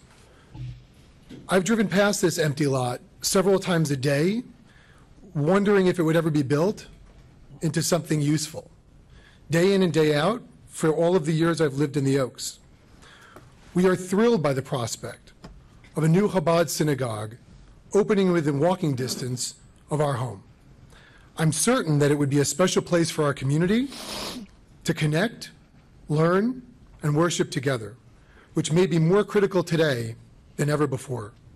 I respectfully request that you approve Chabad's application. Thank you. Thank you. Thank you. Please, no please, clapping. please. Is Aaron, um, Aaron Golfin? Could come up? I'm sorry? Oh, okay, all right. And then um, Peter Sachs? And then uh, on the other podium, if I could have Zachary, it looks like M-A-R-E-D or E-S? A-N-S. Okay.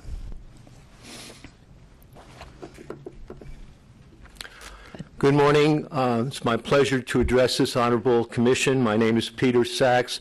I live in Horseshoe Acres, and I'm speaking on behalf of three communities, uh, Horseshoe Acres, Long Lake Estates, and La Rivage. Uh, The code has standards for considering a variance. There are seven criteria. Uh, Staff found five of those criteria were not met by the applicant's justification statement. The applicant cited the one criteria where the staff said they were not a factor. However, here is the most important factor. Will the variance be consistent with the purposes, goals, objectives, and policies of the plan in this code? The applicant did not even respond to that. So of the seven factors, six are not complied with. We urge you to uh, follow your staff. They're professionals. They deal with this. They've made a sound recommendation after careful study. Uh, This variance is self-imposed. Uh, The applicant knew exactly what they were getting into. Uh, They're under contract. Uh, They have an opportunity to uh, change it or do something else. Uh, They knew about the setback requirement. They can redesign this property if they choose to. Eminent domain is not relevant under the code. Under the code, setback requirements remain in effect if there is an eminent domain taking, and here the uh, predecessor interest was paid $806,000. There's an alternative option available. The same property owner, Ron Simon, who has brought us all here, in fact, by the way they've handled this property, owns the property to the west. These properties can be combined. The Chabad could be bigger and better if, if he would level with everyone. The plan for the property west is school, as you know.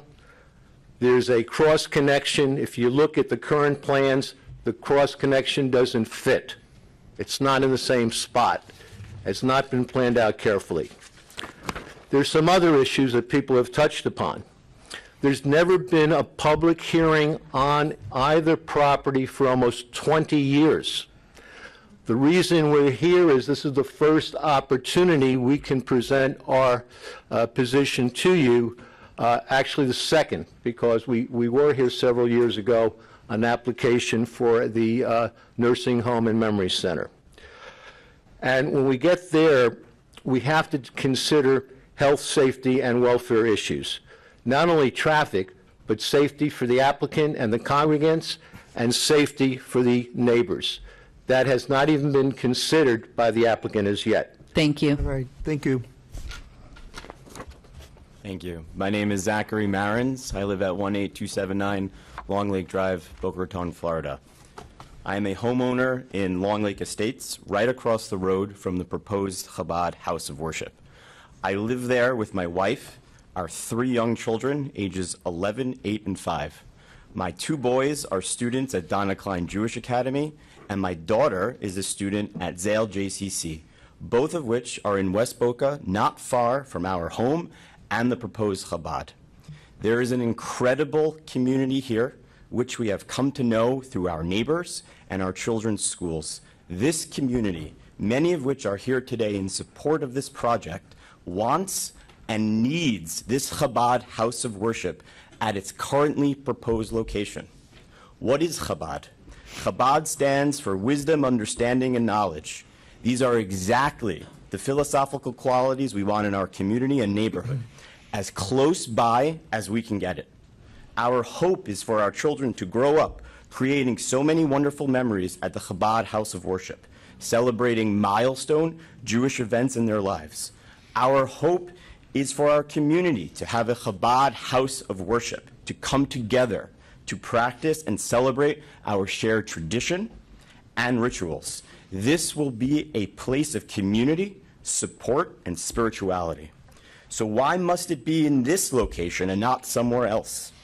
The proposed location is ideal for the surrounding community to easily travel by foot and is uniquely situated around many residential communities whose residents want this project.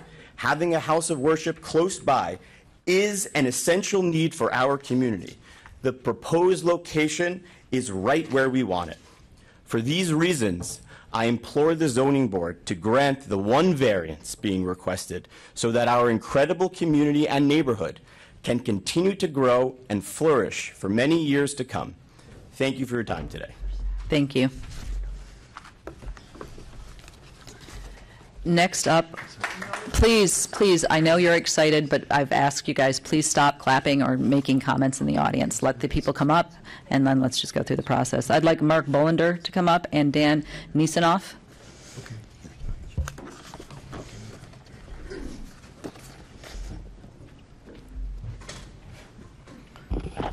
Good morning, and thank you for giving me the opportunity to speak before this honorable board on this very, very important topic. Uh, being a resident of Woodfield Country Club, residing at 6090 Northwest 42nd Way um, in Woodfield for the past 11 years, personally, I've seen a major shift in demographics within our own community, meaning that we're old and this whole community in Woodfield is becoming extremely young. That means there's a lot of small children, families that have an incredible need to have a house of worship within a normal amount of a distance that the agricultural preserve allows. And also, in addition, to have a place to send our children and myself in the future, God willing, my grandchildren to be able to attend where there is waiting lists right now in adjacent schools because of the demographic, the demographic, the shift of population from the north to the south. So I respectfully support this project and whole. I'm a former founder of a Chabad up in Long Island. I have stood before a board similar like this with the same type of objections, and the board approved the, the, the, the location, which happens to be in Dix Hills, Long Island, Rabbi Sachs, and it has brought nothing, nothing but the community together up north. And I have no doubt in my mind this particular project and Rabbi Gopin and my neighbors and all of our communities surrounding, at the end of the day, if this respectable zoning board uh, puts a yes vote to allow this variance. Thank you. Thank you. Thank you. Uh, Before you, before you call the next one, I, I apologize. I just received information that uh, Mr. Sachs submitted some documentation that he is representing other, other organizations. So in doing so, he's allowed additional two more minutes, uh, assuming Mr. Sachs wants those additional two minutes. Yes, please. I'm sorry, what other organizations does Mr. Sachs represent? Sure, he'll tell us. Um, I'll, I'll look to staff. We received um, correspondence, I believe. Yes, he submitted documentation. He's representing, I believe, three HOAs. He could speak to that. Thank you. I started to discuss sec- secondary issues. Excuse me, Mr. Sachs, just for the record, if you could indicate who you are speaking on behalf of. I'm speaking on behalf of Long Lake Estates, Le Rivage, and several of the Horseshoe Acres owners, otherwise known as the Clint Moore Coalition. All right, thank you. Sorry for the misunderstanding. Uh, Other issues. You always should consider health, safety, and welfare. We have an enormous traffic problem there, and this is not going to make it any better. We see it every day at the Calusa School down, down the road. Why is it coming up now? It's coming up now because we have not had an opportunity in almost 20 years to present our position at any public forum. The school was approved in 2006. The traffic report it's relying upon was done in 2007. It's really irrelevant at this point. We're also concerned about the safety of the area. Uh, We uh, see what's going on at the other synagogues and kibbutz. They deal with security, they have a plan. Uh, We don't see it here because it hasn't been prepared. The Woodfield entrance by the traffic light where the congregants would cross the road is 1,500 feet from the property. Five football fields. This is not a, a neighborhood like Montoya Circle where you walk uh, to the uh, synagogue. This is the suburban tier on the east side of turn, the turnpike. It's a, it's a narrow sidewalk with no shade, and it's not a walkable area. You don't see people walking there. Finally, we've had an issue with transparency here.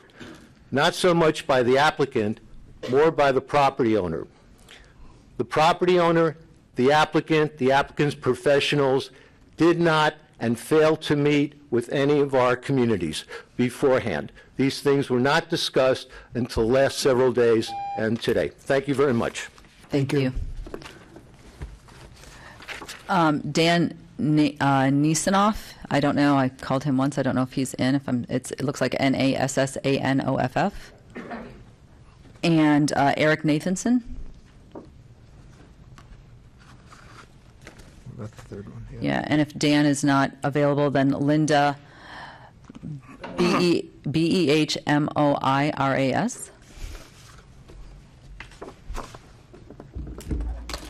Ladies first, first. You go first.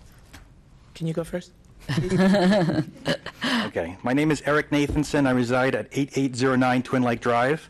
Um, My wife, four children, been living there for 14 years. Um, I'm not really good at speeches, so I'll just kind of give my bullet point of um, facts or comments. Um, What really, really surprised me was right before this, um, this item came up, there were, there was 12 variances that were just given to a, um, for-profit organization for type 2 variances. Here we're asking for one type 2 variance. And everybody, I'm not going to point fingers, has brought up schools, things that have nothing to do with this project, and it's ju- it just doesn't make any sense. We're asking for a setback to a lake. The school, which we're not talking about, is a couple hundred feet behind someone's house.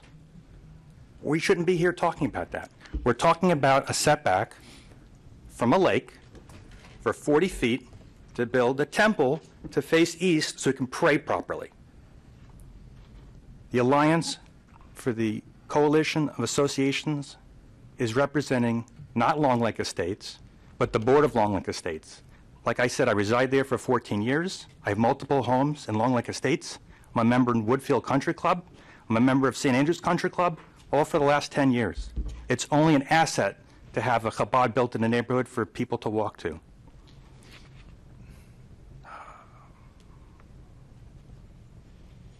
And all these coalitions and associations that are against this haven't talked to any of the residents. They had board meetings without discussions of any of the community members before the decision was made to go against it. Other associations, which were mentioned earlier, which represent over 2,000 residents that are not here in opposition, didn't want to have anything to do with the coalition because of what is going on with the, with the religious tone of what's going on with this project. And if people are for and against and don't come to this meeting, I think they sh- should still be heard because by them not belonging to the coalition on this issue is the reason why they didn't want to have their name associated with what, what other people are trying to do. Thank you. Thank you. Thank you. Good morning. My name is Linda Morris. My address is 4290 Northwest 66 Place. Thank you to the Planning and Zoning Committee and to the appointed members of our county commissioners for providing us the opportunity to be here today, and thank you for your service. I have been a resident of Woodfield Country Club Kensington subdivision for 26 years. Kensington is the community closest to the proposed Cha- Chabad Chai on Clint Moore Road. I heard the name John Channing, one of the red shirts, when I walked in. Coincidentally, Mr. Channing built the three Woodfield communities closest to the proposed lot Kensington, Somerset, and Mayfair. Funny how life works, that the man who built the three beautiful communities is now trying to prevent a true community. We moved into Woodfield Country Club in 1997 when I was pregnant with my older son. My husband Ralph served as president of the Kensington HOA for 18 years. I need to add that I do represent another organization, and maybe I should get some extra time because I talk a lot. I would like to add I'm a member of the media. I'm the publisher, founder, and CEO of the Boca Raton Observer magazine, an upscale local lifestyle magazine that has the largest mail circulation in Palm Beach County. I founded my publication 20 years ago, and I'm very familiar with community, all different ones. My family of four has been living in this house since our existence as a family. I raised my two children there. I sent them to Donna Klein Jewish Academy at the Jewish Federation of South Palm Beach campus from K to 12, kindergarten to 12th grade. And I made that left Woodfield's Clint Moore Gate and passed the said parcel multiple times a day for 15 years of my life. I've been an active member of B'nai Torah congregation for 26 years, served on their board of trustees. B'nai Torah is located on the most southern point of our county, just north of the county line. My family has been very active there. I'm involved in several philanthropic organizations in South Palm Beach County.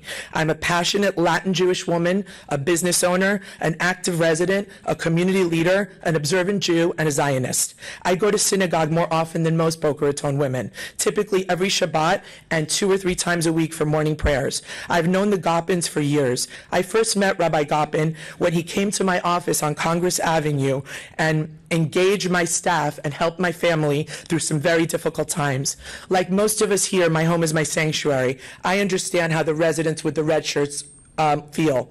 As Mr. Sachs eloquently pointed out, that we live in a residential area. Our homes are where we relax and spend time with our families. We all have busy lives. The bottom line here is that Rabbi Gopin and Chabad has created a community within our community. It's beautiful and heartwarming to see what has gone on. He has brought our community together. I raised my children in this community, and I'm meeting many new families here who are here to grow their families. This next generation deserves that we as a community constantly improve. I personally Thank you. feel. Thank Thank you. Can I file for extra time? You need to do that beforehand, like Oh. Mr. Sachs did, sorry. Okay, thank you. Thank you. Next, we have uh, Prava, Pravin, the gentleman I uh, called up earlier, and then we have John Channing.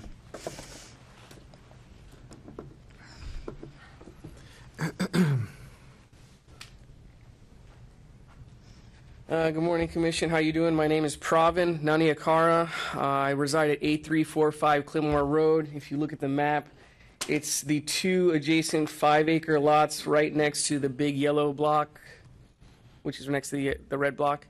Um, so I'm definitely uh, I'm definitely in the middle of this thing. I'm right next to all the development and proposed variances and what's going on.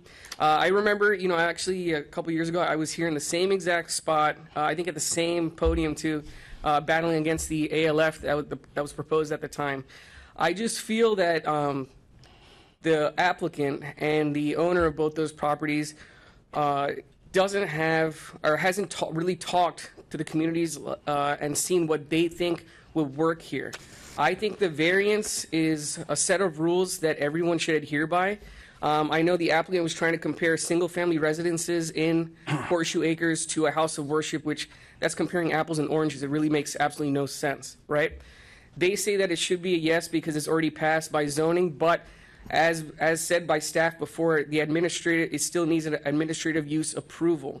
I can echo. I'm not going to talk the whole time because most of the people, uh, especially Peter Sachs, Richard Salter, uh, Cl- Clint Moore Coalition, have already echoed. Uh, you know what I've what I've been thinking, and I think that we should all have to adhere by the setbacks. There is no reason for a change for this at this time. I don't think that the applicant has proved to us, the rest of the community, that there is a need for this at this time and why the setback should be changed. If they could come up with some tangible evidence and prove and say, yes, this is exactly what we need, this is the reason why. They have they, they, they talk about community, they said 100,000 people have come, you know, in in Boca right now, right? The community. Are all 100,000 going to come to this Shabbat? You talk about traffic and safety. If you've been down Clint Moore Road in this area, you already know the traffic is bad. People drive fast. That's why they put a stoplight at Woodfield Country Club, yeah, at, at, at, at that exit. Now think about people walking and crossing that street on Sat, what, twice, three times a week? Something's going to happen, unfortunately, and it'll be an accident. I don't think they have the best interest in the safety of their people when they're going ahead and proposing an institution like this in this location. I think it's a great idea, the institution. I, they brought up a lot of really good points, depression, bringing people, you know, back from COVID, things like this. And it, it, it's, you know, I applaud them for that. I just think the location really doesn't make sense at this time. That's it. Thank you. Thank you. Uh, Zoning Commission members, my name is uh, John Channing, and uh, I've been a resident of Long Lake Estates for over 30 years. I've been a real estate developer for over 45 years in South Florida. Recently, uh, we came before your board on August the 3rd, and I want to thank you for approving the first commerce project, uh, and that was on Boynton Beach Boulevard between uh, the Turnpike and Acme Dairy Road. With my partner, Malcolm Butters, we worked for two years with Cobra and Bark, and we came up with a concept that neighboring communities supported. And that's, and that's the way things should be done. Where you work together with neighboring communities and you come up with a concept, everybody's on the same page. I've done that my whole career. And this is the first time in all my business years that this has never happened. That the applicant or the planner did not reach out to our communities that are affected by the potential development. The applicant's game plan was getting a school administratively approved on one piece and then go get this place of worship approved on the other piece. It's very frustrating for us not to have any information or input on development that can potentially impact our communities. We strongly support the recommendation of denial by staff. Variances are not given when the problems are self-imposed by the applicant. The prior owner at the time of the taking was compensated for the reduction in size of the property, and the applicant knew that their design did not fit on two and a half acres. The Chabad has contracts and affiliated companies' names for the entire site. They have the ability to use more of the land and not play a shell game of getting approvals and later coming back to the county and try to put it together. The site plan you are reviewing shows a future cross connection to the school. However, this, this connection doesn't work with the existing school plan. It runs right into a building. So both sites are going to have to be redesigned in the future if this is approved. Furthermore, there have not been any traffic studies done since 2004, so there are no counts regarding how a school approved for 740 students and a place of worship handle the traffic that will be generated. So that doesn't back up to the, to, the, the two lanes on Clint Moore Road. What about right turn lanes, stacking lanes, studies of internal queuing, U-turns? What about fire? Have they signed off on plans? The county needs to do a traffic study of local impact of these projects and how they're going to affect Long Lake Estates and Horseshoe Acres. Our communities need to have a voice and information Thank going you. forward. Thank you. Thank you. That is all the uh, comments um, that I have. Okay. If I may, um, it was discussed about the Allegro Senior Living application. The current property owner of both the yellow and the red site submitted for a future land use amendment and rezoning for those two properties together in 2016.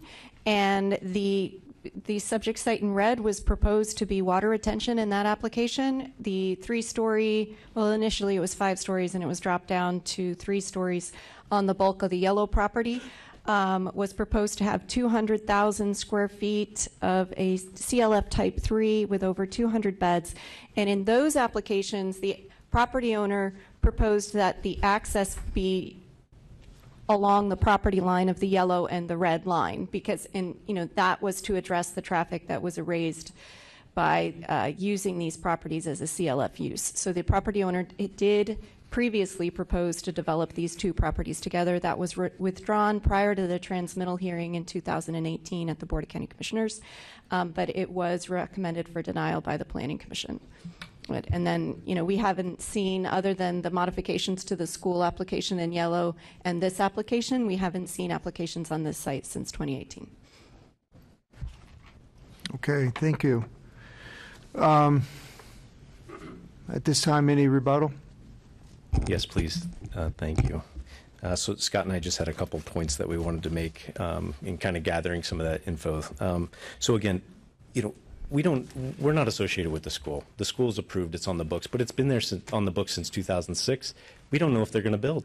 We, so how, how can we think, because I think there were some comments on, well, you can just be part of them and do a bigger, bigger Chabad. Well, then we heard about traffic. So I don't think the point is we want to do a bigger Chabad. What we have available is this 2.7 acres. That's where, what we have available to purchase and what we hope to build on. Um, we, we have nothing to do with the school. The traffic, all that stuff, it sounds like this is a platform from a, from the first time they're able to get to a board voice, uh, and, and it has nothing to do with our application. We're simply asking for a setback to the drainage parcel.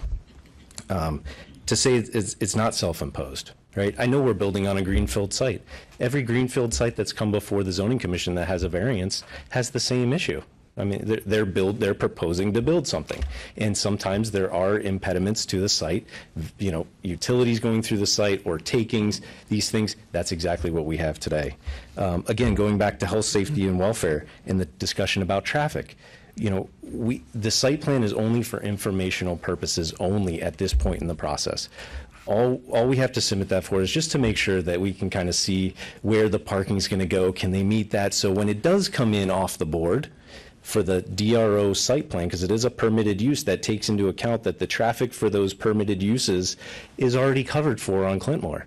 We're not going for a traffic approval on that. It's, it's, it's into the mix, knowing that it's a permitted use, uh, subject to DRO. So again, traffic is not of concern here, and we show that with the, with the traffic numbers. Uh, we do meet comp, comp plan and code, other than this one finite item, which is the setback. Um, And again, the, the talk about the Horseshoe Acres lots, the, the setback is not use specific. The setback is zoning specific, and that's why we say those, some of those lots may have issues in the future. And I hope that they get the same consideration that I hope we get today, is that they can come in, because a 100 by 100 foot setback on those smaller lots is going to be difficult to build a home. Um, So again, not use specific, but zoning specific. So I'll turn it over to Scott. Thanks, Josh. Um, just two quick legal points, uh, and I think everyone on this board knows this, but variances are site-specific. They do not set any kind of precedent. I know that there were some comments that came out in that regard. It's very important for this board to understand, and to the points that Josh just made, we are asking for one very small, minimal variance that is not self-created, is not going to establish any, uh, any type of precedent. However, with one exception, and, and I think this board about a year ago dealt with an issue on another Chabad in Century Village, dealt with issues under federal and state religious freedom protections with RLUIPA and things of that nature. The concern, and Josh pointed this out in his presentation and otherwise, if there are any other variances granted in this county in the AGR, and this is denied, it creates a, a, a form of discrimination against this religious institution. I think you heard a lot here about concerns, about bias, things of that nature, and under those federal and state legal standards, th- that's a potential issue as well. So just kind of putting it out there, I think we very clearly established and met the criteria for variance under the ULDC, uh, established all the components associated with that, um, but just kind of wanted to put that out there for the board's consideration as well. All right, Chair, thank you. if I may respond to that. Um, Much as Mr. Backman mentioned that variances under the code are unique and not site-specific and don't set precedents, under federal protections, each scenario is um, distinguishable from the other. Uh, There is no precedent being created if there is no, um, there's no guarantee that something uh, denying this would, would be discriminatory or create a precedent. Just wanted to make it clear that those are also um, very case-by-case kind of determinations. So. Okay, thank you. Any final rebuttal from staff? Yes, so um, with regards to the use approval, um, with any use approval, whether it's through building permit or through an administrative or public hearing, traffic is analyzed, a statement is required. Um, So it isn't just by right because it's an administrative approval and analysis is done. Um, With regards to setbacks, um, where he had mentioned the residential neighborhood, residential have additional uh, allowances in the code when you have a residential use on a residential lot, um, where they, if it's non-conforming, legally non-conforming, they get percentage setbacks and reductions. Um, So that same standard isn't applied to non-residential uses. And then again, we have um, several standards in the code that we have to analyze uh, for variances specifically. And staff just reiterates that um, the applicant bought the property knowing that it was AGR. When they bought the property, it was, the required setbacks have not changed. Um, The Article 1 requirement to require to meet setbacks if the site was subject to eminent domain was still in place. Um, And so therefore, we stand beside our recommendation that we have. Okay. One thing I'd like to add is the property owner is not the Chabad. It- At, at the end of the day, the property owner is not the Chabad. And this is a variance requested for property that's currently owned by a property owner. They bought it in tw- 2013 at a greatly reduced price. The prior property owner to this property owner was given over $800,000 for the use of the back of the property. And those are just, you know, staff is recommending denial because of the variance conditions. It's not from our perspective about the Chabad. Okay, thank you. All right, I'll bring it to the board. So, uh, thank you, Mr. Chair. I'll, I guess I'll start. So, um, so as a, as a member of this board, I'm, I'm obligated to, to follow the rules and the law, and that's, that includes the ULDC. Under the ULDC, there are certain requirements in order for you to meet a variance request. Because people want something, because of COVID, because of the humanistic appeal and benefits that a Chabad brings, which which I've supported other Chabads in the past, as you might know, um, in East Boca. Um, that's not the standard to grant a variance. The standard to grant a variance is what's in the ULDC. So um, I have not heard any substantial competent testimony of any kind today which would address the specific issue within the ULDC of the seven points, five of which were not met in order to approve the variance. And um, it, so, in, in, in, in, in that regard, um, I'm compelled to follow the recommendation of staff, most particularly because the property owner, which doesn't really, uh, the, the property owner who owns the property now knew full well that this was going to be an issue that came up. And um, the property is under contract. Chabad doesn't have to close on it. They can, they can, they can make a better deal, or they could, they could design a better building that would actually meet the code. So that's my position on this. No matter how um, much people want something or need something, you know, we have to follow the rules up here. And, and I can tell you for absolute certainty, notwithstanding Mr. Backman's veiled threat of litigation, which I do not appreciate at all, um, I can tell you that our responsibility is to follow the rules and the, and the law and to make the right decision accordingly. So that's the reason why I'm going to support staff and vote against this variance, is because it doesn't meet the requirements on the U- ULDC, no matter how much I would want to vote in its, in its favor. Thank you. Okay. Well, Everybody's awfully awfully quiet. um, I have gone back and forth on this issue, um, for, for it, against it. Um, I sit here and I do remember when we had the assisted living and everybody was outraged. They didn't want it. When the post office wanted to use that land, they, um, everybody was outraged, didn't want it. And um, I, I think uh, Chabad would, would be a, a good use, especially when it comes to traffic. Um, but after listening to, to both sides today, and I've got to say that how many times, numerous times, we asked not to clap, not to make comments.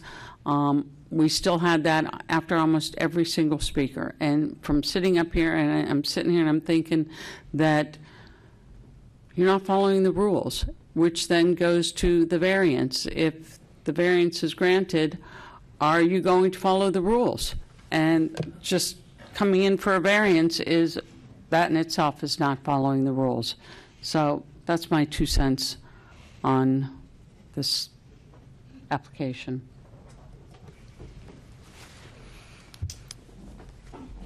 I know you're dying to say something, Commissioner Beatty. Well,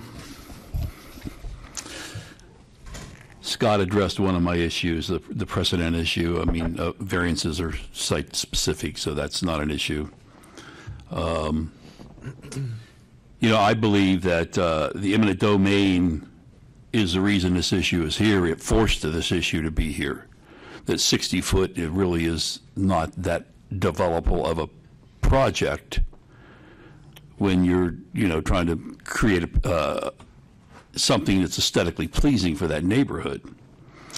Um, as far as the access goes, I think maybe they could work something out with the neighbor to access the property where that median cut is. Maybe they could find, come to some agreement on that, or modify that median to uh, work for their access.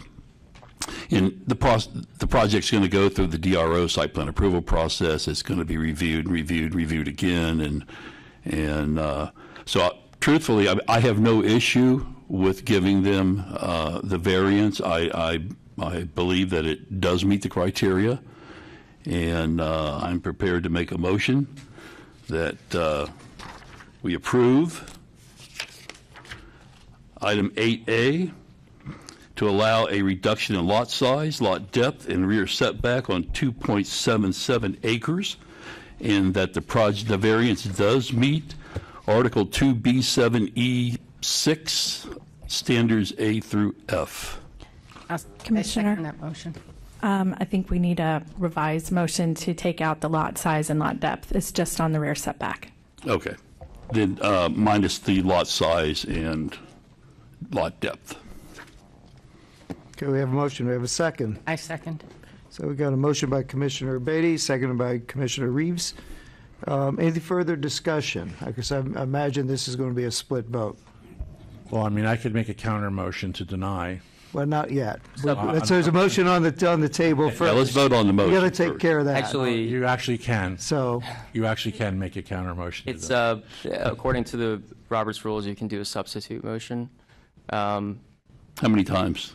There can be, I believe, a maximum, under our rules, I think it's a maximum of three motions on the floor at once. So, Okay. I move substitute motion to deny the variance. As to the rear As, setback. as, okay. Do we have a second? And I- I request, second that. call the question. And I request that I call the question. And I second that motion. So I can make a substitute to his substitute, correct? No, because I've called the question. Now it has to be vo- a voice. no, well, call the question means if two-thirds of the commission approve the calling of the question, then you can move on to the vote. Okay. So. Do we have a vote on calling the question? Yes, you have to vote. Right now, since he's made it, everything stops. Now you vote on calling the question. All right, so that was by Commissioner Groman, seconded by Commissioner Pavlik. You don't need a second on the call the question. Oh, You you can don't? just, well, Okay. she did it anyways, but yeah, at this point, you would just roll call however you'd like. I like. think we'll need to do a roll call for this then. Yes, vote on calling the question. So the motion is, is per staff's recommendation to deny the No, application. it's on the call on the question. Oh, the question. call to question. This, Yes. this just means that all debate will end and you will move forward on Commissioner Groman's motion. If two-thirds, if two-thirds of the group approve calling the question, then you would vote on the actual motion. I vote no. Sherry? Uh, The call, call the roll, you call the roll for the vote then? Yes. We're calling, we're ca- doing roll call right now. Okay, Mhm. thank you. Sherry Pavlik? So, Yes. yes, to your call the question. Okay, yes. Mike Kelly, No. Glenn Groman, Yes. Sherry Scarborough, No. Lisa Revis, No. Alex Brumfield, No. Mark Beatty, No. Jess Sowers. No. So then does it revert back to the initial? I'd like to make a motion.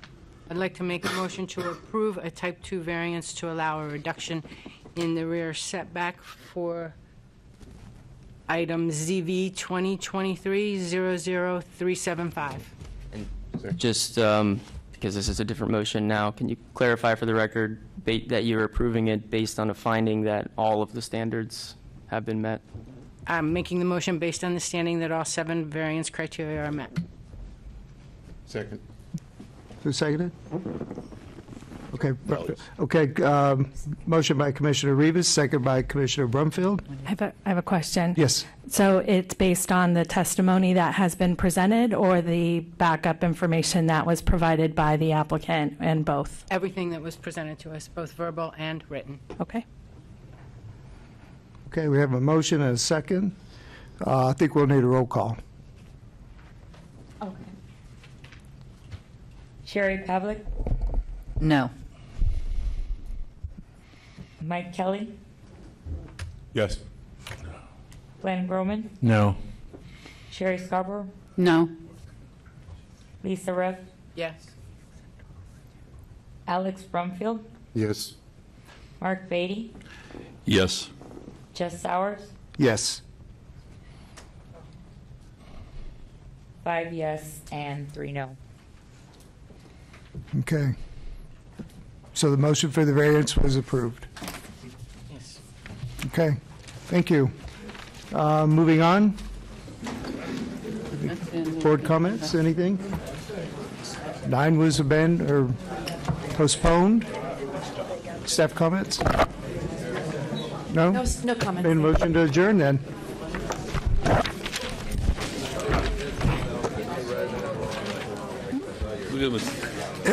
Yeah, that, that was a conditional use, it wasn't a